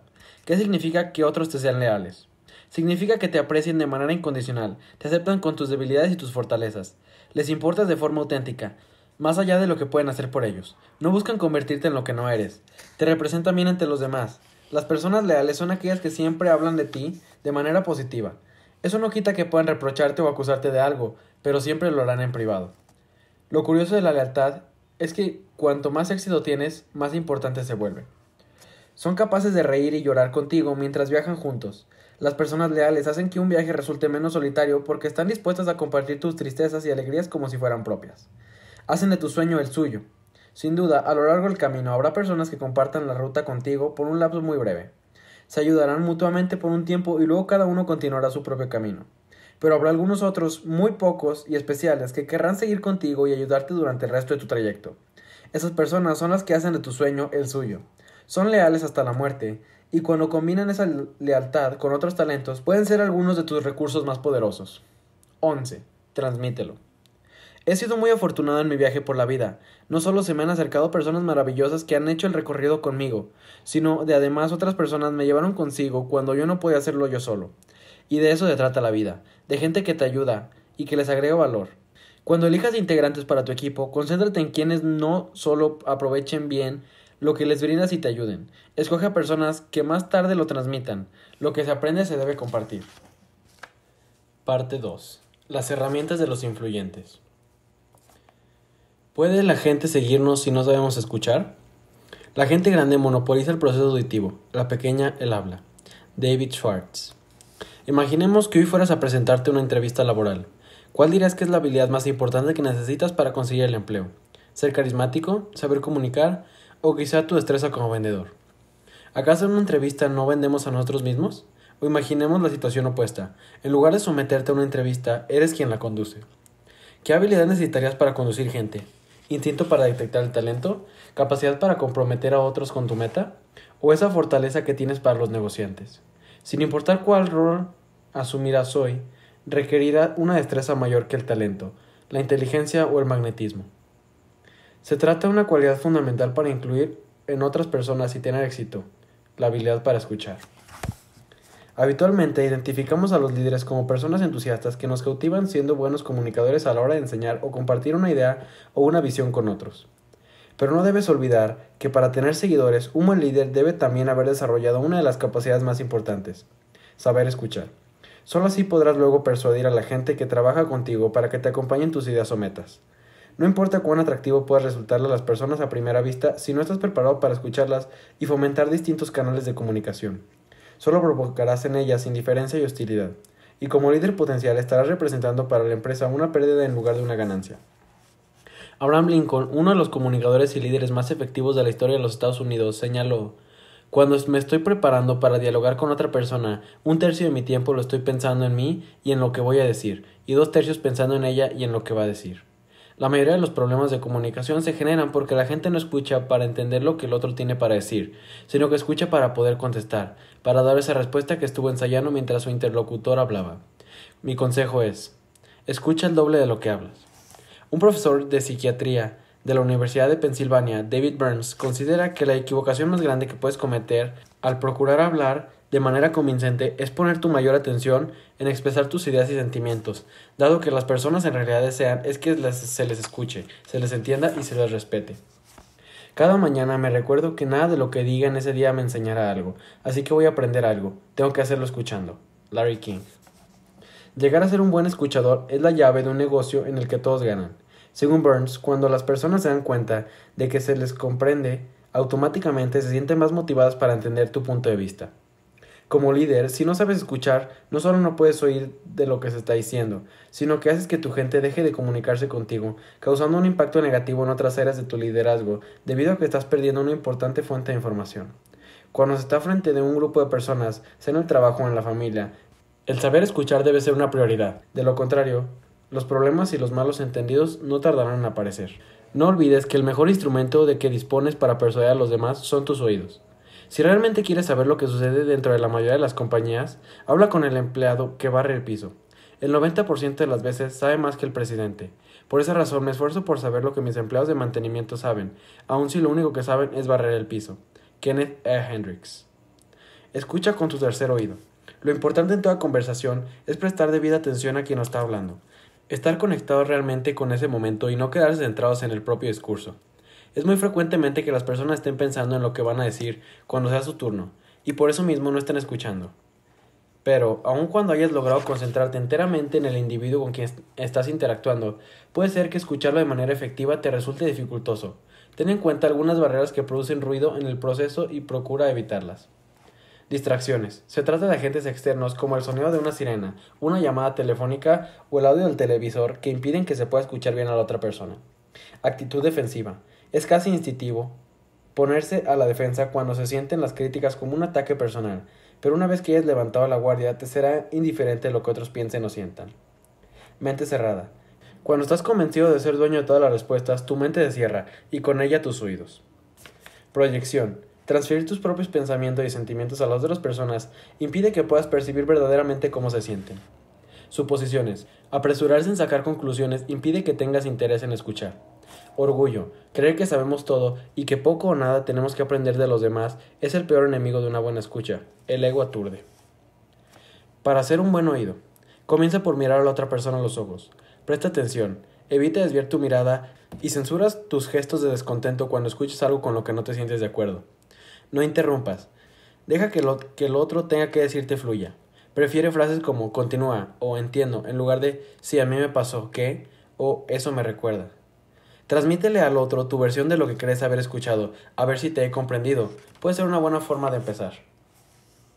Sentido de pertenencia. El liderazgo es cultivar hoy en las personas la disposición para seguir en un futuro hacia algo nuevo o una causa importante. Con el paso del tiempo he aprendido que las personas que me rodean determinan mi grado de éxito o fracaso. Sin duda, cuanto mejores son ellas, mejor soy yo. Si quiero llegar a un nivel más alto, solo puedo hacerlo con la ayuda de otros. Solo es imposible. Subir implica acompañarnos mutuamente en el ascenso, y para ello se debe lograr sintonizar la propia meta con los sueños y los deseos de los demás. Como dijo la Madre Teresa de Calcuta, puedo hacer lo que tú no puedes, y tú puedes hacer lo que soy incapaz de hacer. Juntos podemos hacer grandes cosas. Una vez más, la clave está en cómo conducimos a nuestro equipo y si hacemos que todos se sientan incluidos en los proyectos que lideramos, fomentándoles un sentido de pertenencia. Uno se convierte en un motivador influyente cuando logra animar a las personas, reconoce el valor de su aporte a la empresa y se le comunica con ellas a nivel emocional. Me gusta recordar un relato sobre un famoso músico de 1800, porque nos ayuda a comprender la importancia de valorar el trabajo de equipo en cada oportunidad. El músico solía viajar de pueblo en pueblo dando conciertos, y en cada lugar empleaba a un niño para que bombardeara el órgano durante cada función. En una oportunidad, luego del concierto, el niño siguió al músico hasta el hotel donde se hospedaba. Dimos un gran concierto esta noche, ¿no le parece? dijo el joven. Dimos. Creo que estás equivocado. Yo tuve un gran concierto esta noche. ¿Por qué no regresas a tu casa? le contestó el músico algo enfadado. En la siguiente presentación, y mientras el músico estaba en el momento culmine de interpretación, el órgano dejó de funcionar repentinamente. El músico desesperado miró al niño y éste se sonrió. Y dijo Esta noche el concierto no nos está saliendo bien, ¿no le parece? Descubrí esta verdad cuando estaba próximo a cumplir cuarenta años. Por entonces sentía que el éxito ya era parte de mí. Era el líder de la iglesia más grande de mi congregación. Tenía cinco libros publicados. Era reconocido como una autoridad en materia de liderazgo y daba clases sobre el tema en forma permanente, tanto por medio de lecciones grabadas de audio como presenciales. Todo indicaba que estaba cumpliendo con mi misión, creciendo diariamente, acercándome a mi máximo desarrollo y a la vez dejando semillas que beneficiaban a otros. Sin embargo, mi deseo más profundo era causar un impacto aún mayor en las demás personas. Quería alcanzar un nivel completamente nuevo, y el problema era que sentía que me había topado con un muro. Estaba al frente de una organización, enseñaba sobre liderazgo, escribía libros y daba sermones el resto del tiempo. Mi agenda incluía además un itinerario de viajes extenso. Agregar alguna actividad nueva era una tarea imposible. Fue así como descubrí que los únicos lugares donde mi productividad e influencia podían aumentar eran aquellos donde había detectado potenciales líderes y los había capacitado para ello. Mi intención al desarrollar líderes había sido ayudarlos a superarse a sí mismos, pero advertí que yo también me favorecería en ese proceso. El tiempo que había compartido con ellos era como haber invertido dinero. Ellos se habían expandido y al mismo tiempo yo había cosechado formidables dividendos. Me di cuenta entonces de que mi intención era alcanzar el siguiente nivel. Iba a necesitar extenderme a través de otros. Hallaría más líderes a quien transmitiría mi vida dándoles lo mejor de mí para elevarlos, y a medida que ellos crecieran yo también lo haría. Uno puede ser un modelo para las masas, pero para alcanzar los niveles más altos de influencia hay que trabajar con individuos. No olvides el trayecto. La mayoría de las personas que soñamos con triunfar estamos tan concentradas en ello que perdemos de vista el esfuerzo que implica llegar hasta ahí. Es igual que cuando viajamos en una carretera y no disfrutamos el paisaje porque estamos ansiosos por llegar al destino. Nos comportamos como el niño que cada vez que juega al ajedrez con su abuelo y pierde, dice otra vez abuelo, tú siempre me ganas. A lo que el abuelo le responde ¿Quieres que me deje ganar? ¿Que pierda a propósito? Si hago eso, nunca aprenderás a jugar. Y el niño le confiesa, no quiero aprender, solamente quiero ganar. Ahora, sinceramente, ¿qué triunfo disfrutas más? ¿El que te llegó fácilmente o aquel que te implicó sortear varios escollos? Cuando estés en posición de ayudar a alguien a triunfar, no le regales la meta aun cuando puedas hacerlo. Mejor acompáñalo en el proceso, proporcionándole medios que le servirán para alcanzar esta victoria y tantas otras en el futuro. Porque solo una cosa es más placentera que triunfar una vez triunfar muchas veces. Haz por tu equipo lo que no pueden hacer por sí mismo. Ningún ejecutivo sufrió jamás porque sus subordinados fueran fuertes y efectivos. Peter Drucker. El embajador Henry Van Dyke dijo, existe una ambición más noble que solamente llegar a ser grande en el mundo. Es inclinarse y levantar a la humanidad para que ella sea más grande aún. Qué gran perspectiva. Hacer por los demás lo que ellos no pueden hacer por sí mismos es realmente una cuestión de actitud. Yo creo que todo lo que he recibido debo compartirlo con los demás. Ya que tengo una mentalidad llena de abundancia, no me preocupará que me quede sin nada. Cuanto más doy, parece que recibo más, para poder seguir dando en un círculo virtuoso. No tienes por qué ser una persona famosa con una importante cuenta bancaria o de un talento inusual para ayudar a otros a alcanzar el éxito. Sin importar qué tanto o qué tan poco tengas, tienes la capacidad para hacer por los demás lo que ellos no pueden hacer por sí mismos. La forma exacta de hacerlo dependerá de tus dones personales, tus recursos, tu actitud y tu historia. Sin embargo, puedes intentarlo practicando las siguientes etapas. 1. Preséntales a personas que no podrán conocer solos. Mi padre, Melody Maxwell, ha hecho cosas increíbles por mí durante toda su vida. Una de las que más me impresionaron era que me presentaba a hombres de gran reputación cuando yo todavía era un adolescente. Así conocí a Norman Vincent Pell, E. Stanley Jones y a otros grandes hombres de la fe. Y como había dicho que quería entrar al ministerio, mi padre le pidió a estos grandes predicadores que oraran por mí. No puedo expresar con palabras el impacto que aquello tuvo en mi vida. Actualmente, con frecuencia estoy en posición de hacer lo que mi padre hizo por mí, prestar mi mano para que otro crezca. Disfruto presentando gente joven a mis héroes. Me encanta ayudar a las personas para que tengas contactos de negocios. Hay momentos en los que conozco a alguien y mientras conversamos estoy pensando, tengo que presentarle a fulano de tal. Eso puede significar ir con otra persona hasta otra oficina, llamar a alguien en su nombre o concertar una reunión. Por favor, no pienses que tienes que conocer a alguien famoso para ayudar a los demás en esta área. A veces se trata simplemente de presentar un amigo a otro o un socio de negocios con otro. Solamente tienes que actuar como un puente entre las personas y hacer las conexiones. ¿Cómo puedes obtener resultados increíbles de una persona? Ten expectativas increíbles sobre ellas. 2. Llévalos a lugares a donde no podían ir por sí mismos. Al principio de nuestro matrimonio, Margaret y yo éramos muy pobres. Yo acababa de salir de la universidad y le había dedicado muchas horas a mis estudios. Margaret tenía tres trabajos para que pudiéramos sobrevivir. Pudimos salir adelante, pero no nos quedaba dinero para lujos tales como vacaciones. Afortunadamente, yo tenía un hermano mayor que nos quería y se preocupó por nosotros. Las vacaciones que tuvimos durante los primeros cinco o seis años de mi vida profesional fueron por invitación de Larry y su esposa Anita. Parece que durante la primera mitad de mi carrera, si yo iba a algún lugar importante era porque alguien me invitaba. Docenas de veces disfruté experiencias que nunca hubiera podido lograr por mí mismo. Asistí a juegos de pelota, jugué golf, visité iglesias, participé en conferencias y viajes a países que estaban lejos de mi alcance. Es probable que tengas la capacidad de darle a alguien una experiencia que parezca inaccesible para él. Si no puedes ayudar a un amigo o a un colega, entonces empieza con tu familia. Lleva a tus hijos o nietos a lugares donde no podían ir ahora mismo por sus propios medios. Es increíble el impacto positivo que eso causa. 3. Ofréceles oportunidades que no pueden alcanzar por sí mismos. Hace más de 25 años, el profesor C. Peter Wagner, del Seminario Teológico Fuller, me invitó a hablarles a los pastores alrededor del país sobre liderazgo. Él me puso por primera vez en un escenario nacional y me dio la credibilidad que no poseía por mí mismo. Pocas cosas son más valiosas para una persona preparada que una oportunidad. ¿Por qué? Porque las oportunidades aumentan en nuestro potencial. Demóstenes, el gran orador de la Grecia antigua, dijo, las oportunidades pequeñas muchas veces son el comienzo de grandes empresas. Haz que las personas triunfen dándoles oportunidades y triunfarás con ellas. Las oportunidades pequeñas muchas veces son el comienzo de grandes empresas. Demóstenes. 4. Comparte ideas con aquellos que no poseen las propias. ¿Cuánto vale realmente una idea? ¿Podemos ponerle un precio? Todo comienza con una idea, un producto, un servicio, un negocio o un libro o hasta una invención. Las ideas son el motor que mueve el mundo. Por eso, cuando compartes tu idea con alguien que no es capaz de generarla, le estás dando el más grande de los regalos. Cuando haces algo por los demás que ellos no pueden hacer por sí mismos, estás fomentando relaciones significativas con esas personas. El poder de las palabras. Un gran hombre comunica su grandeza por la manera en la que trata a los hombres pequeños. Thomas Carlyle. Ya he señalado que para que un líder tenga éxito debe hallar el camino para quienes lo rodean compartan su visión y la lleven en práctica. El líder ve el escenario completo, pero necesita que otros lo ayuden para transformarlo en realidad. La palabra comunicación proviene del término de latín communis, que significa común. Los grandes comunicadores, las personas con carisma y quienes ejercen liderazgo a diario lo saben. Y por eso se interesan siempre en encontrar algo en común con las personas con las que interactúan son conscientes de que generar empatía con su gente hará que ésta tenga el deseo de seguirlo. Y no solo alivianan el peso de sus responsabilidades, sino que ven como su visión se enriquece. Busca en tu equipo las cosas que unen, en lugar de las que separan. Construye puentes en lugar de derribarlos. En la medida en la que logres establecer puntos en común con los demás, estarás comunicándote realmente con ellos. ¿Cómo hacerlo? Muy simple. Haz preguntas y escucha atentamente las respuestas. Con certeza no tardarás en detectar puntos en común. La regla de los 30 segundos. Una de las técnicas más valiosas, simples y efectivas para ganarse a la gente y que toda persona que se considere con carisma debe practicar es la regla de los 30 segundos. Di algo alentador a una persona durante los primeros 30 segundos de una conversación y observa lo que sucede entre ustedes.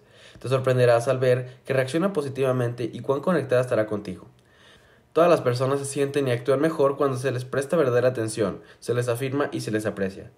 El ejercicio es simple, pero el aliento, el cumplido o la palabra alentadora deben ser genuinos. La falsedad se advierte y actúa como un arma de doble filo. David, supe que te fue excelentemente bien en la conferencia telefónica de hoy. O Larry, me está haciendo quedar muy bien con un nuevo cliente. Gracias. Con tan solo algunos ejemplos de la regla de los 30 segundos. Y si te cuesta trabajo recordar que debes enfocarte en los otros en lugar de hacerlo en tu persona, recuerda las palabras de William King. Un chismoso es aquel que habla de otras personas. Un aburrido es aquel que habla de sí mismo. Y un buen conversador es aquel que habla a usted acerca de usted. Las palabras exactas que uses son mucho menos importantes que la energía, la intensidad y la convicción con la que las usas. Jules Rose. Puede que hayas descubierto de manera intuitiva que cuando una persona te alienta aumenta tu nivel de energía, te sientes con más ganas de hacer, de emprender, de dar. Mientras que cuando eres objeto de críticas tu nivel de energía decae y te sientes abatido. Esto es porque las palabras tienen el gran poder de motivar o desmotivar. Todas las personas necesitamos ser motivadas por otro en algún momento. El estímulo como motor. Ayuda a las personas que saben lo que tienen que hacer para convertirlo en realidad. Ayuda a las personas que saben qué compromiso deberían asumir para asumirlo. Ayuda a las personas a dejar aquellos hábitos que saben que deben abandonar. Ayuda a las personas que saben qué camino deben tomar para enfrentar el desafío de tomarlo. No puedes ayudar a otros sin que al mismo tiempo te estés ayudando a ti mismo. Esto es lo valioso de practicar todas estas técnicas. Benjamin Franklin utilizaba esta regla en sus cartas. De aquí en adelante, si ve la ocasión para darles a sus oficiales y amistades un poco más de elogios de lo que corresponda, y confiesa que cometió más faltas de las que cree que debería reconocer, solo por eso pronto llegará a ser una gran capitán. Criticar y censurar a casi todos aquellos con quienes se relacione le restará amistades, aumentará sus enemigos y perjudicará sus planes. Estilos de comunicación. Las personas tendemos a adoptar de manera espontánea uno de los cuatro estilos de comunicación que existen cuando interactuamos con otros. Todo aquel que desee ser un referente para los demás debe identificar el estilo de comunicación que naturalmente despliega, porque así sabrá si la influencia que ejerce es positiva o negativa. 1. El estilo de represalia. Quienes se identifican con este estilo de comunicación suelen ser personas que se mantienen a la defensiva frente a los demás y que tienen a intimidar a otros con su forma hostil de comunicar. 2. Estilo de dominación. Las personas que se comunican de este modo suelen situarse por encima de los demás para muchas veces manipularlos. Atacan ferozmente la individualidad y la dignidad de las personas. 3. Estilo de separación. Esta particular forma de comunicarse es propia de quienes se alejan de los demás. Son personas que no logran desarrollar un sentimiento de equipo y que al aislarse destruyen cualquier posibilidad de progreso personal. 4. El estilo de cooperación. Los que utilizan este estilo son quienes caminan con los demás y son capaces de reconocer la contribución de las otras personas. Por eso, los comunicadores cooperadores aumentan la confianza y el valor hacia los demás y hacia sí mismos. Las personas comunicamos un 7% a través de las palabras, un 38% a través del tono y las inflexiones de la voz, y el 55% mediante la comunicación no verbal. Parte 3. Cualidades para triunfar. ¿Qué distingue a quienes triunfan? La ventaja del ganador no yace en un don de nacimiento un gran coeficiente intelectual o el talento. La ventaja del ganador está en la actitud, no en la aptitud. Dennis Watley. ¿Por qué algunas personas parecen alcanzar todo lo que se proponen con facilidad? ¿Por qué les va tan bien? ¿Qué es lo que diferencia a los vencedores?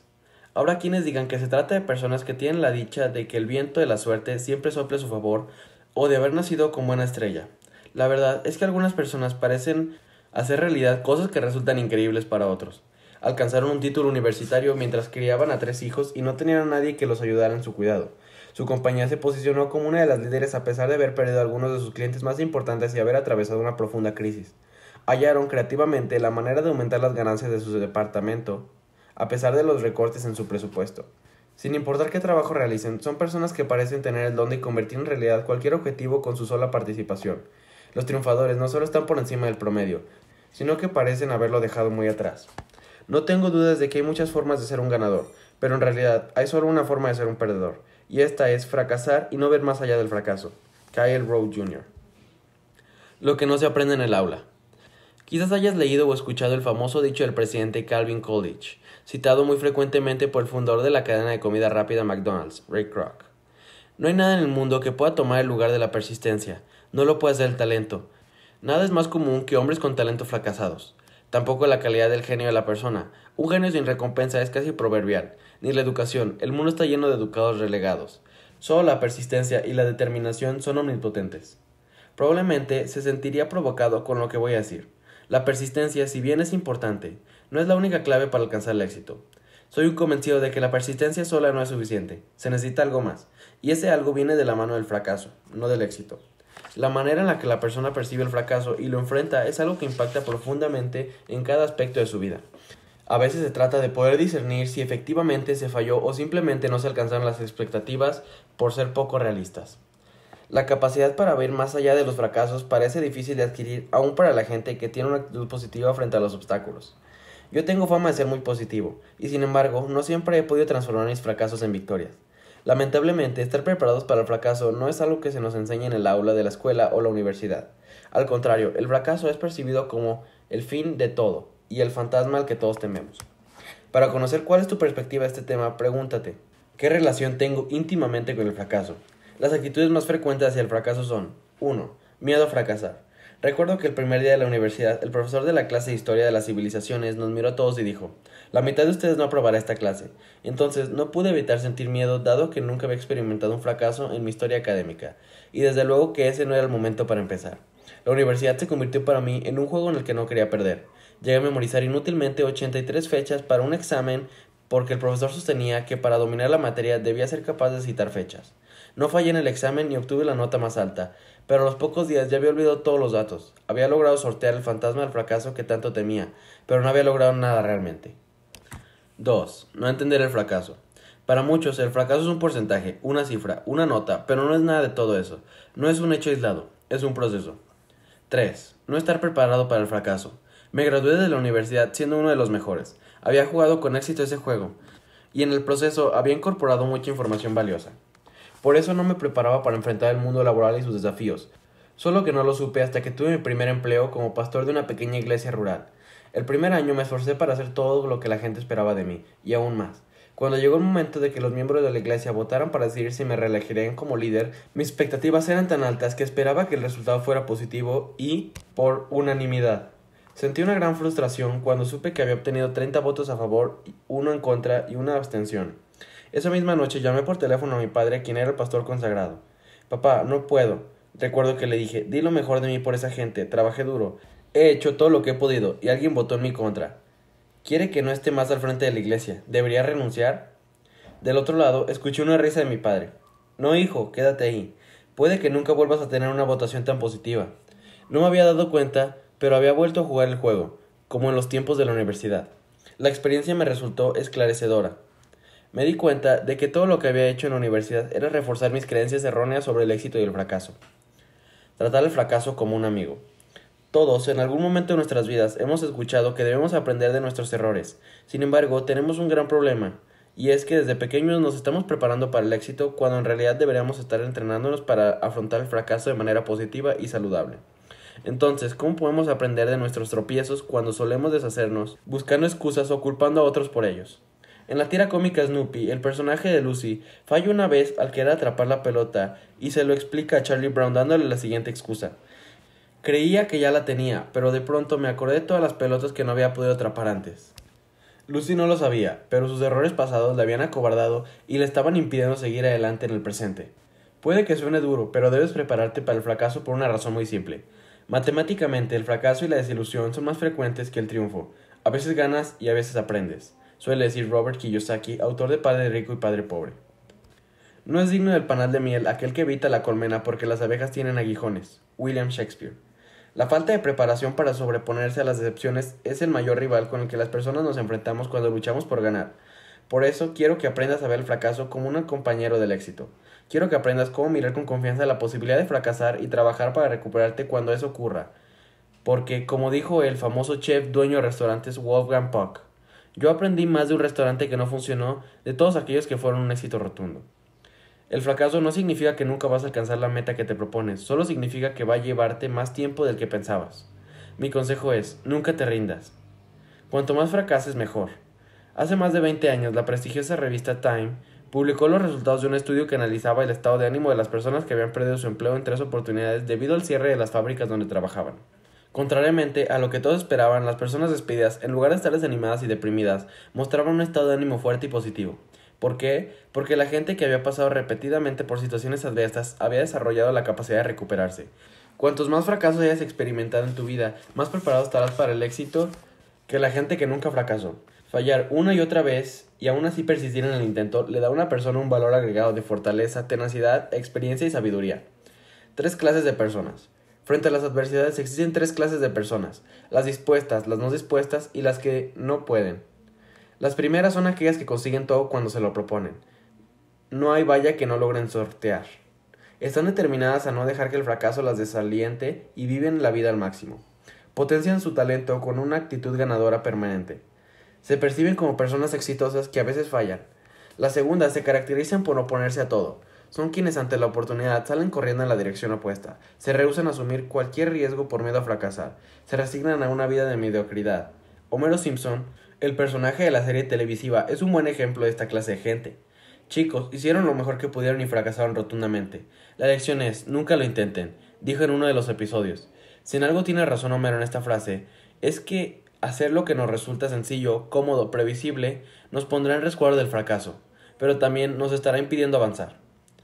Y las terceras son las que nunca logran nada porque parecen que siempre están esperando el fracaso. Pierden de vista lo que los estudios han demostrado. El 95% de lo que tememos que suceda carece de sustento. Viven el fracaso no como una alternativa, sino como la única posibilidad. Ello las lleva a verse a sí mismas como fracasadas. Son como el pesimista que elige como inscripción para su lápida la frase esto es lo que esperaba. La gente de éxito comprende perfectamente el rol que cumple el fracaso para obtener logros y no reniega de él. No busca desesperadamente encontrar garantías absolutas de que todo saldrá bien y nada fallará. Thomas Edison dijo, no estoy desanimado porque cada intento fallido es otro paso hacia adelante. A veces ganas y a veces aprendes. Robert Kiyosaki. Deja atrás el si tan solo. Warren Bennis, en Leader on Leadership, entrevistó a un gran número de líderes en distintas áreas y observó que todos coincidían en referirse a sus errores en términos de experiencias de aprendizaje, oportunidades de crecimiento o enseñanza paga.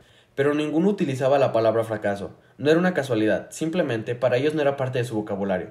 Un psiquiatra de gran trayectoria académica dijo en una ocasión que las tres peores palabras que una persona puede incluir en su vocabulario son, si tan solo, la gente que se pasa la vida repitiendo, si tan solo hubiera hecho ese negocio, si tan solo hubiera dicho las cosas a tiempo, si tan solo me hubiera animado, si tan solo hubiera aceptado ese puesto, son personas que quedan enredadas en su temor a fracasar y no avanzan. Para corregir esa mentalidad que no te permite crecer, incluye en tu diccionario personal otras tres palabras. La próxima vez.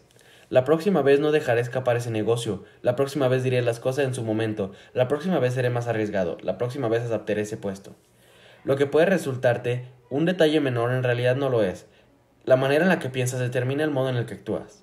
Si luego de leer los capítulos anteriores has decidido no bajar los brazos ante el fracaso y no puedes evitar tropezarte alguna vez con él en el camino hacia la conquista de tus metas, entonces debes aprender a obtener beneficios de él. La clave no es preguntarnos si vamos a tener que enfrentar problemas, sino cómo vamos a superarlos. Lo importante no es caer, sino ponerse de pie nuevamente. Puede que no sea tu culpa la razón por la cual estás en el suelo, pero es tu culpa no levantarte. Steve Davis. Ahora, pregúntate, si cambiara la forma en que crees, ¿qué reacciones tendrías ante un fracaso? ¿Qué tratarías de lograr? Sin dudas, no existen logros sin fracasos. No importa cuán difíciles sean los obstáculos que estés afrontando en este momento. Lo que cuenta verdaderamente es si estás dispuesto a ver los fracasos de forma diferente, como victorias potenciales. No se trata de cambiar las circunstancias que muchas veces escapan de nosotros, sino de cambiar nuestra actitud frente a las circunstancias. Los triunfadores no toman el éxito ni el fracaso de manera muy personal. Entienden que ni uno ni otro los definen como personas. Saben que la vida implica asumir riesgos y enfrentar las experiencias negativas desde una perspectiva positiva que les permite hacer del fracaso un puente hacia el éxito. El fracaso no es tan malo si no ataca el corazón. El éxito está bien si no se le sube la cabeza, dijo el escritor de deportes Grandland Rice. No pierdas el buen humor. La mejor decisión que puedes tomar cuando sientes que has fallado en la consecución de tu meta es tomártelo con humor, reírte a carcajadas si es posible, de esa experiencia que no resultó como si hubieras querido. Tener un buen humor es la mejor estrategia para combatir los sentimientos de frustración y decepción. Reírse de una experiencia negativa favorece la capacidad de pensar con flexibilidad para cambiar de rumbo, haciendo que resulte más sencillo encontrar posibles soluciones a los problemas. Pocos estímulos son tan gratificantes como la risa. Cuando nos dejamos arrastrar por la apatía y el desánimo, tomar decisiones con claridad se vuelve imposible, porque esos sentimientos negativos nos consumen la energía que necesitamos para enfrentar los retos de la vida profesional y personal. Desafiar los contratiempos cotidianos con una sonrisa no solo te dará mayor resistencia ante ellos, sino que además estará aumentando tu nivel de creatividad. ¿Qué distingue a los ganadores de los mediocres? Los ganadores transforman los fracasos en victorias, los mediocres se dejan derrotar por el fracaso. Los ganadores aprenden de cada error, los mediocres repiten los errores. Los ganadores reconocen al fracaso como parte del progreso. Los mediocres esperan que el fracaso no se repita. Los ganadores vuelven a arriesgarse. Los mediocres quedan atados a los errores del pasado. Los ganadores piensan que algo no funcionó. Los mediocres piensan, soy un fracasado. Los ganadores perseveran, van hasta el final. Los mediocres ceden, se quedan a mitad del camino. Cuestión de actitud. Nadie puede dar fe a menos que la tenga. El persuadido es quien persuade. Joseph Joubert. Seguramente alguna vez habrás escuchado la frase la actitud lo es todo. Para quienes la pronuncian, pareciera que todo lo que necesita para alcanzar el éxito es tener una actitud positiva. Si tienes la actitud correcta, los logros serán tuyos. Voy a desilusionarte, pero no creo que sea así de simple. Conozco a muchas personas que a pesar de tener una actitud envidiable no logran ser exitosas. Si todo fuera una cuestión de buena actitud, entonces lo único que me separa de ser un cantante de fama internacional sería la creencia de que puedo serlo. Pero créeme, aunque me encantaría recorrer el mundo haciendo recitales, hay un factor que se interpone, el talento. Si has visto alguna vez los programas del estilo de American Idol, sabrás lo que quiero decir. Es sorprendente la cantidad de participantes con poco o ningún talento para el canto que responden ante la crítica del jurado. Yo sé que puedo cantar, esa es tu opinión. Por desgracia, la actitud no tiene el poder de compensar la falta de habilidad. Quizás ahora te estés preguntando, ¿entonces los cientos de páginas que he leído hablando del tema estaban equivocadas? ¿La buena actitud no es importante? Claro que lo es, no lo es todo, pero ante igualdad de condiciones puede ser lo que separe a un ganador de una medalla de oro del ganador de una de plata de las Olimpiadas. La actitud puede ser el condimento que marque la diferencia en tu vida. Todos vivimos bajo el mismo cielo, pero no todos tenemos el mismo horizonte. Conrad Adenauer. Actitud en acción. Roger Crawford es un consultor y conferencista de renombre. Ha trabajado para las compañías de Fortune 500 y lleva escritos varios libros. Mientras cursaba sus estudios de la Universidad de Marymount, Loyola, llegó a ser un jugador de tenis profesional certificado por la Asociación de Tenis Profesional de los Estados Unidos. Pero Roger no era un jugador más. Había nacido con el mal de ectrodactilismo. No tiene manos con las que sostener la raqueta y tiene un solo pie. Desde siempre, los médicos habían dicho a sus padres que Roger nunca podría caminar, que difícilmente pudiera valerse por sí mismo y desarrollar una vida como cualquier persona. Pese al desalentador pronóstico, los padres de Roger decidieron criarlo en un ambiente donde se sintiera fuerte y libre de manejarse con independencia. Tú eres minusválido en la medida en lo que quiera hacerlo, solía repetirle su padre. Con esta convicción fue que le enseñaron a tener un pensamiento positivo para que sintiera capaz de hacer cualquier cosa que deseara. Mis padres nunca me permitieron que sintiera pena de mí mismo, dice Roger. Él siempre había creído ser consciente del aliento que le habían dado sus padres desde pequeño. Sin embargo, solo cuando ingresó a la universidad comprendió realmente cómo había sido motivado. Un día recibió una llamada telefónica de un estudiante del campus que quería conocerlo porque sabía de sus triunfos en el tenis. Roger, por supuesto, accedió a que se le reuniera en la cafetería de la universidad. Al encontrarse, se puso de pie para saludar al hombre, que había querido conocerlo, y notó que tenía manos igual que él. La primera reacción de Roger fue de emoción por haber encontrado a alguien con su misma dificultad. Inmediatamente pensó que podía servirle de mentor, dado que era mayor que él y que seguramente tendrá más experiencia de vida. Sin embargo, le bastaron unos pocos minutos para darse cuenta de lo equivocado que estaba. En lugar de tener frente a mí a alguien que podía ser mi mentor, tenía una persona amargada, con actitud sumamente pesimista, que culpaba a todo el mundo por sus decepciones. No tardé en darme cuenta cuán diferente era nuestra actitud frente a la vida. Él nunca había podido permanecer mucho tiempo en un empleo y estaba seguro de que era causa de la discriminación, sin tener en cuenta sus frecuentes llegadas tarde y su desinterés por la tarea eran en realidad el verdadero motivo. Su actitud era el mundo está en deuda conmigo, lo cual ni el mundo ni yo compartimos. Luego de ese encuentro, mantuvimos nuestro contacto durante varios años hasta que llegué a la conclusión de que, aun cuando él tuviera la posibilidad de tener un cuerpo perfecto, su insatisfacción y falta de éxito no cambiarían. El fracaso venía desde su interior. Aprendí que los impedimentos nos pueden limitar en la vida solo en la medida en que lo permitimos. Es así en todos los aspectos, el físico, el intelectual y hasta el emocional. Las verdaderas limitaciones son aquellas que nacen en nuestras mentes, no en nuestros cuerpos, cuenta Roger. Una pequeña gran diferencia. W. Clement Stone, como hombre de negocios, dijo, hay muy poca diferencia entre las personas, pero la pequeña diferencia marca una grande. La pequeña es la actitud. La gran diferencia está en si es positiva o negativa. Para entender cómo funciona la actitud en acción, pensemos qué podría suceder cuando entras a una sala de reunión y percibes que todos quienes están presentes se ríen. Entonces, puedes optar por pensar, creo que les agrado. Solo con cruzar la puerta ya se han alegrado, o estoy haciendo el ridículo. Pues de eso se trata tener una actitud positiva o negativa.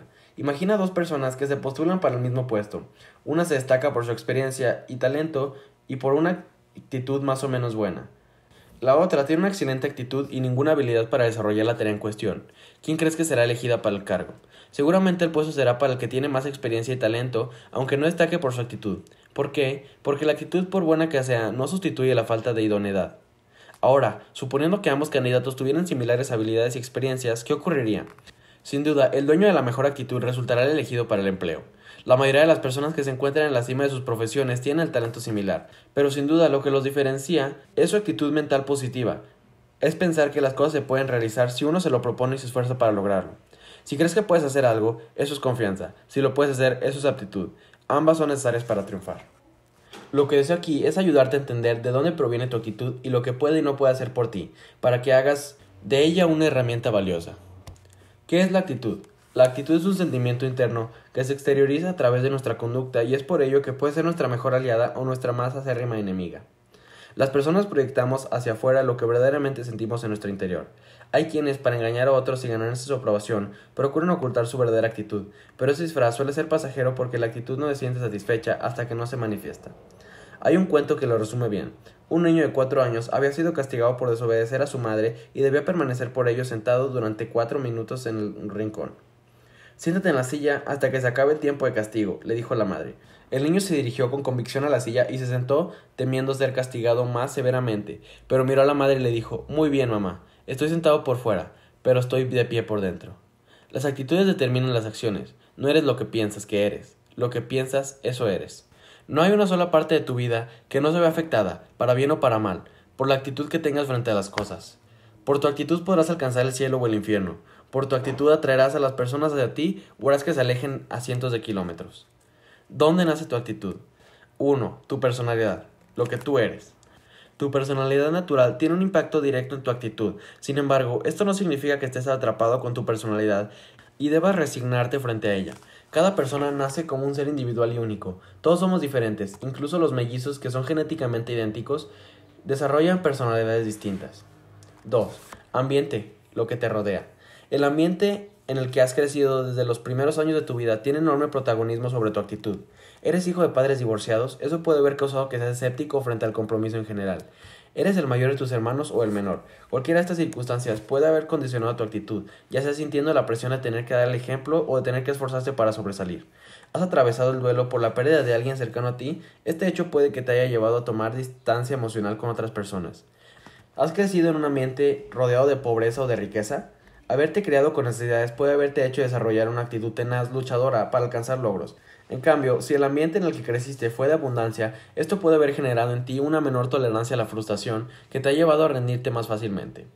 3. La expresión de los demás, lo que tú sientes. Las palabras positivas o negativas que has recibido de otras personas a lo largo de tu vida también tienen un impacto en tu actitud, así como las palabras duras no se olvidan, las positivas tampoco.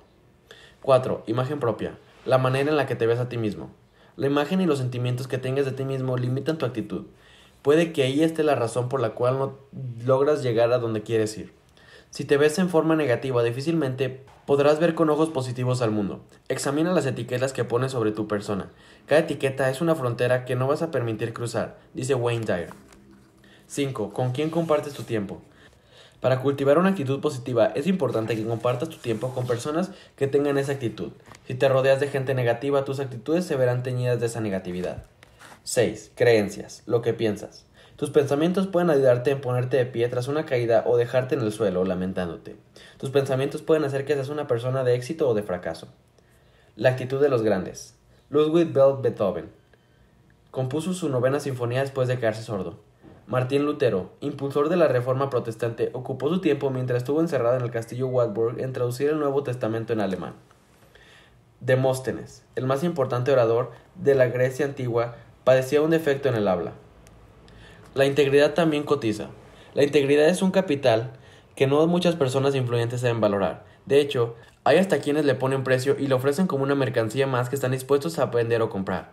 Pero la verdad es que, si bien la honestidad no es una acción que cotiza en bolsa, es sumamente valiosa para quienes desean ser vistos por la gente como individuos respetables y dignos de ser elegidos en sus acciones y pensamientos. El éxito en los negocios o en la vida personal depende muchas veces de la integridad. En una oportunidad, el prestamista Ivan Boesky describió ante la comunidad académica de la Escuela de Negocios de la Universidad del Estado de California en Los Ángeles que para él la codicia no era algo malo. Esa particular manera de pensar terminó saliéndole cara. Cuando tus prácticas poco éticas en Wall Street se dieron a conocer, el costo fue alto. No solo estuvo tres años en prisión, sino que además debió pagar una multa de 100 millones de dólares. Gracias a que para Wesky la decencia era un concepto basado en moda. hoy vive en la ruina financiera. Hace unos años, el cumpleaños de mi esposa nos encontró en medio de un viaje de negocios en Londres. Para celebrar, decidí llevarla a la tienda Escada para comprarle algunos vestidos de regalo. Se probó varias cosas y todas le gustaban. Mientras ella decidía cuál de todas las prendas se llevaría, me dirigí a la caja y pagué por ellas. Unos días después, volviendo de nuestro viaje, arribamos al aeropuerto de San Francisco. Cuando estábamos en la inspección de la aduana, nos preguntaron como de costumbre qué teníamos que declarar. Lo único que teníamos era ropa que mi esposa había comprado. Mostramos entonces las facturas de las compras. El agente de la aduana nos miró con asombro y nos dijo ¿Están declarando ropa? ¿De qué está hecha? Nos pareció una pregunta tanto extraña, a pesar de que la suma que habíamos gastado era alta. ¿Cómo íbamos a saber de qué material era cada prenda? Mi esposa le dijo entonces a la gente ¿Por qué le interesa saber de qué está hecha la ropa? Es que el impuesto es diferente según la tela. Voy a buscar a mi supervisor porque la verdad es que estoy acostumbrado a que la gente trate de pasar todo tipo de cosas sin pagar impuestos. Pero nunca me pasó que alguien declarara ropa y sinceramente no conozco cuáles son las tarifas. No suele ser común atender a personas tan respetables, nos dijo el agente. Quizás estés pensando, como algunas de las personas que estaban ahí esperando en la fila, que nuestra actitud fue poco inteligente. Nosotros lo llamamos honestidad. En la actualidad parece haber una necesidad de la gente por encontrar desesperadamente líderes que le muestren el camino a seguir, pero solo desean ser influidos por las personas en las que pueden confiar. Para ser líder, el hombre necesita seguidores, y para tener seguidores, el individuo debe tener confianza. Por lo tanto, es incuestionable que la cualidad suprema del líder es la integridad. Dwight Eisenhower. ¿Cómo llevarse bien con la gente? Todo el mundo tiene un anuncio invisible colgado en su espalda. Hazme sentir importante. Mary Kay Ash. Para el momento en el que ingresé a la universidad ya era muy consciente de la importancia de relacionarse con las personas. Sabía que eso marcaba la diferencia entre el éxito y el fracaso. Noté que quienes creaban lazos con los demás tenían mejores relaciones, padecían menos conflictos y obtenían más logros que aquellos que no lo hacían. ¿Alguna vez oíste hablar de esas personas cuyas vidas parecen tocadas por una varita mágica? Por lo general, son las que aprendieron a establecer relaciones con los demás. Cuando interactúas con otros, accedes en un lugar que te permite aprovechar al máximo tus aptitudes y tus talentos. Cuando no lo haces, debes vencer muchos obstáculos solamente para llegar a un lugar promedio, un punto de partida neutral. Yo partía de una posición de desventaja durante mis años de universidad y el comienzo de mi vida profesional. Era muy ambicioso y tenía objetivos definidos, pero mi incapacidad para relacionarme con los demás era un obstáculo que me impedía alcanzar el éxito. Cualquiera que sea tu vocación o ambición en la vida, podrás aumentar tu impacto sobre los otros cuando logres convertirte en una persona influyente para ellos, y serlo te llevará a multiplicar tus triunfos. Si bien todos conocemos individuos que parecen ganarse naturalmente la admiración o el reconocimiento de los demás porque se muestran dueños de un carisma singular, la verdad es que cualquiera, aun cuando tenga habilidades limitadas, puede entrenarse para desarrollar la capacidad de inspirar y guiar a otras personas individualmente o en su conjunto. El jefe personal de Ronald Reagan siempre dijo de él que admiraba la fortaleza de sus convicciones, su transparencia, la honestidad de sus actos y su habilidad como comunicador, pero lo que realmente lo cautivaba era su capacidad para relacionarse con los demás. Reagan era capaz de enfrentar y dispensar igual trato a un jefe de Estado, a un periodista crítico de su administración, a una maestra de la escuela o al obrero de una fábrica. Las relaciones personales son la base de la cohesión de los miembros de un grupo, y no necesito decirte que casi todo lo que hacemos depende en gran medida de un trabajo en equipo. Para empezar, necesitas poder crear un buen clima con la gente con la que interactúas en tu trabajo. El ingrediente más importante en la fórmula para triunfar es saber cómo llevarse bien con los demás, dijo Theodore Roosevelt. Para ayudar a las personas a creer que pueden alcanzar el éxito, permíteles experimentar pequeños triunfos. Como ya he dicho, el trato con la gente, la actitud, es lo que marca la diferencia. En ocasiones, nuestra percepción de los otros depende más de nuestra mirada que de nuestras cualidades. Si somos positivos, los vemos positivamente, igual que la belleza de una flor que parece estar más en el ojo de quien la mira que la flor en sí misma. Busca las siguientes características en tus relaciones para saber si has cultivado vínculos sólidos. 1. Respeto. El respeto es primordial en las relaciones humanas y es un camino de vía doble. Debes demostrar respeto a los demás y al mismo tiempo ganarte tú el de ellos. 2. Experiencias compartidas. Construir un vínculo implica también atravesar experiencias juntos. 3. Confianza. La práctica del respeto cotidiano y de cultivar experiencias compartidas hará que las personas tengan confianza en ti. 4. Reciprocidad. Todas las relaciones requieren de una ida y vuelta. Si una persona es siempre la que da y la otra siempre la que recibe, el vínculo terminará por desgastarse.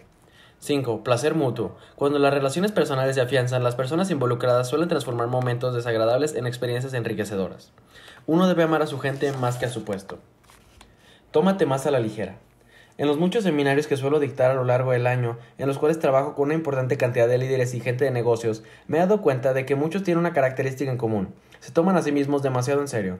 Se comportan como si la grandilocuencia de cargos que ocupan les perteneciera a ellos. No se dan cuenta de que deben aligerar su carga. No importa si eres director de una compañía, socio gerente o jefe de equipo, no hay razón para que te tomes tan en serio. El problema es que la mayoría de nosotros solemos creernos más importantes de lo que realmente somos. Suelo decirles como ejemplo a quienes participan en mis charlas que seguramente el día que me muera mis amigos pastores harán una hermosa ceremonia de despedida, donde contarán las mejores cosas sobre mí, pero 20 minutos más tarde la preocupación de ellos será encontrar un sabroso plato de comida que se dará en mi memoria. Aunque parezca humor negro, necesitamos desarrollar un sentido del humor respecto de estas cosas, esencialmente si trabajamos con gente. La risa es la distancia más corta entre dos personas, sintetiza el comediante Victor Borch. Sin lugar a dudas, si hay alguien que tiene suficientes razones para tomarse a sí mismo y a su trabajo muy en serio, es el presidente de los Estados Unidos. Pero aún así, puede que personas que detenten esa posición de poder sean capaces de tener una mirada de humor sobre ello y tener bajo cuerda a su ego. Hace unos años, cuando al presidente George Bush le comentaron que una empresa pondría a la venta un juego de postales de los presidentes de Estados Unidos, su comentario sorprendió a más de uno. ¿Alguien me puede decir cuántas postales George Bush se van a necesitar para cambiarlas por una de Michael Jordan?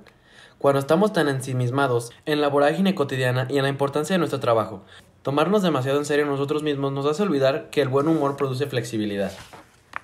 Ser una persona influyente significa saber que la gente tiene un gran problema de inseguridad, dale confianza. La gente necesita sentirse especial, elógiala con sinceridad. La gente muchas veces no encuentra un rumbo, guíala. La gente es egoísta, apunta sus necesidades en primer lugar. La gente busca ejemplos, sé el mejor. La gente suele desanimarse, aliéntala. La gente sueña con el éxito, acompáñala para triunfar. La gente sueña con un mejor mañana, muéstrale un horizonte de esperanza. El nosotros primero.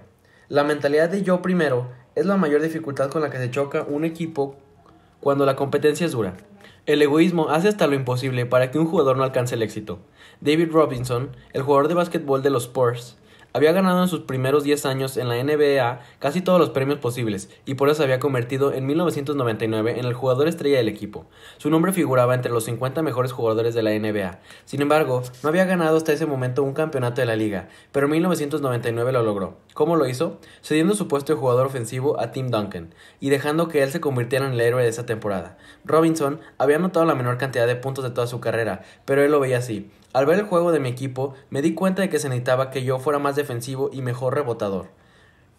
El equipo no necesitaba dos anotadores, yo pude hacerlo durante algunos partidos, pero el equipo también es de team.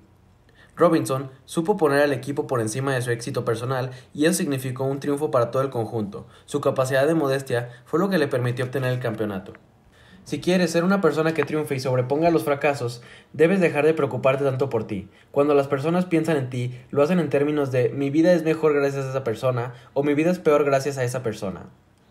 La palabra menos importante, yo. La palabra más importante, nosotros. Las dos palabras más importantes, muchas gracias. Las tres palabras más importantes, todo está perdonado. Las cuatro palabras más importantes, me interesa tu opinión. Las cinco palabras más importantes, hiciste un muy buen trabajo. Para ser una persona de influencia en los demás, tienes que tratar de ayudar a otros. Ahora bien, ¿cómo dejar de preocuparte por ti para empezar a hacerlo a los demás? Aquí algunas ideas que pueden servirte. 1. Pon a los demás primero en tus pensamientos. En tu trabajo, estás interesado en obtener tu cuota de crédito ante cada logro o en hacer que tus empleados brillen. Cuando te presentan a alguien, ¿estás pensando en lo que dirá del otro sobre ti? ¿O de manera que puede ser que la otra persona se sienta más a gusto? Para agregar valores a los demás debes empezar por privilegiarlos por sobre ti. Y no solo en tu mente, sino también en tu corazón. 2. Descubre lo que los demás necesitan. Escucha a la gente con la que trabajas a diario. Interésate por las cosas que invierten en su tiempo y dinero. Pregúntales qué es importante para ellos. Luego podrás agregarles valores. 3. Sé generoso. Finalmente, una vez que conozcas las necesidades de tu gente, pon tu mayor esfuerzo en satisfacerlas plenamente. Sé generoso. Da todo cuanto puedas a las personas que sean importantes para ti y pon más atención en lo que puedas dar al lugar de pensar en lo que puedes recibir. Deja que el nosotros desplace al yo dentro de la escena. Empieza por hacerte las siguientes preguntas al comenzar y al finalizar cada jornada. ¿Estoy beneficiando a alguien con mi vida? ¿Estoy ayudando a alguien que no puede devolverme el favor? ¿Estoy poniendo de pie a alguien que no puede hacerlo por sí mismo? ¿Estoy motivando diariamente a mi equipo? Has de saber que los necesitas. Siempre me han preguntado cuál es el secreto para que la gente se una a un equipo y se comprometa con el cuerpo y el alma. Me gusta explicarlo con una frase, no puedo hacerlo sin ti. Los líderes que creen que la gente los necesita a ellos, en lugar de reconocer que es a la inversa, son los que tropiezan una y otra vez. Es un error creer que cuando les hacemos saber a los demás que valoramos sus aportes es una señal de debilidad.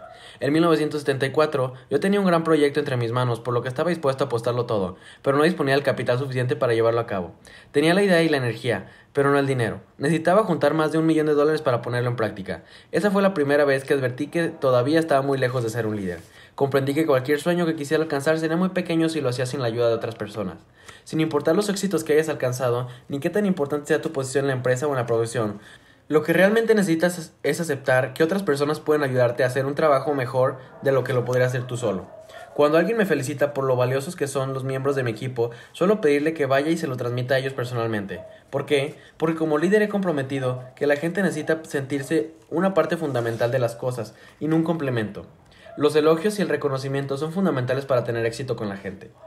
El factor decisivo para que los profesionales puedan crecer y ascender es la habilidad para comunicarse de forma eficaz. Harvard Business Review.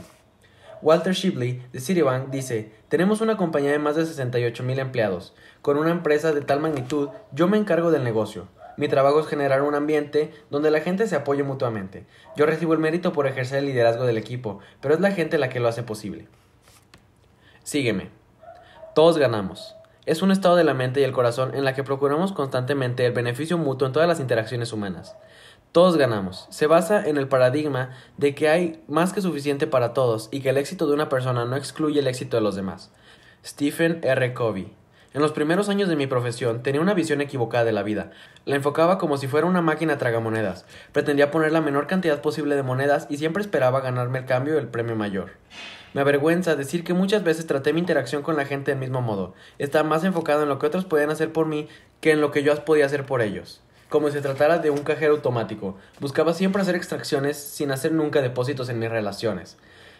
Esta especulación permanente no me trajo mucho éxito. Si somos sinceros con respecto a nuestras relaciones, podemos admitir que hay algunas personas con quienes deseamos pasar tiempo y compartir nuestros proyectos y otras con las que evitamos hacerlo. ¿Qué separa las buenas relaciones que deseamos de las que no nos interesan? La respuesta es sinergia. Hay relaciones en las que todos ganan, ellas añaden valor a ambas partes, y esto es gratificante, tanto para el que como guía muestra el cambio como para quien juega el rol de acompañarlo. Toda relación tiene el potencial de generar ganancias a ambas partes, aunque no todas las relaciones logran obtener ese carácter. No obstante, si las personas entablan un vínculo con mentalidad de inversión, después de haber establecido conexión y desarrollado confianza mutua, en muchos casos el resultado es una relación donde el beneficio es recíproco. Si ambas partes sostienen una actitud generosa y sus expectativas son satisfechas, entonces la relación puede convertirse en algo muy especial. Para que exista sinergia, la moneda que las personas intercambian no necesariamente tiene que ser la misma.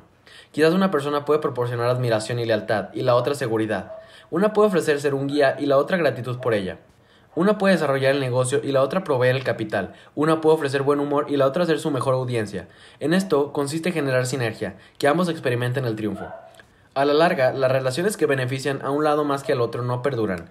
Si una persona siente que da todo el tiempo y la otra solo recibe, el dador tarde o temprano se agotará. Lo irónico es que el receptor también se sentirá insatisfecho porque creerá que no recibe lo suficiente.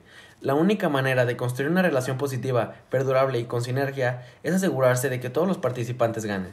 Cuando aprendí esta lección empecé a invertir en la gente simplemente por su valor intrínseco. Las personas eran importantes por sí mismas. Esto me permitió descubrir que cuando me enfocaba en lo que podía dar, más en lo que podía obtener, la gente prosperaba y las relaciones maduraban de manera satisfactoria. Empecé a ver la vida desde el punto de vista del dador y enfocarme en lo que podía dar en las relaciones. Con frecuencia traté de hacerlo sin expectativas de recibir algo a cambio. Descubrí que cuando añadía valor a la gente, muchos también deseaban añadirle valor a mi vida, acompañarme a alcanzar mis metas. Se producía un maravilloso efecto de boomerang. Las relaciones desarrollaban una sinergia increíble y pasaba a otro nivel. A lo largo de estas páginas hemos visto que los desafíos que nos presenta la búsqueda del éxito no pueden ser sorteados en solitario, por muchas que sean nuestras habilidades. Es imposible hacer algo de valor y verdadera relevancia solos, sin la ayuda de otros. Como dijo Andrew Carnegie, ningún hombre vuelve rico si no enriquece a los demás. Es una ida y vuelta. Para atraer, recibir, enriquecerse, hay que dar. El ofrecer es carismático, magnético. El ejemplo es la mejor influencia. Conviértete en ese líder atractivo al que todos quieren seguir por el bien propio, y el tuyo y el de los demás. Sígueme, por John Maxwell.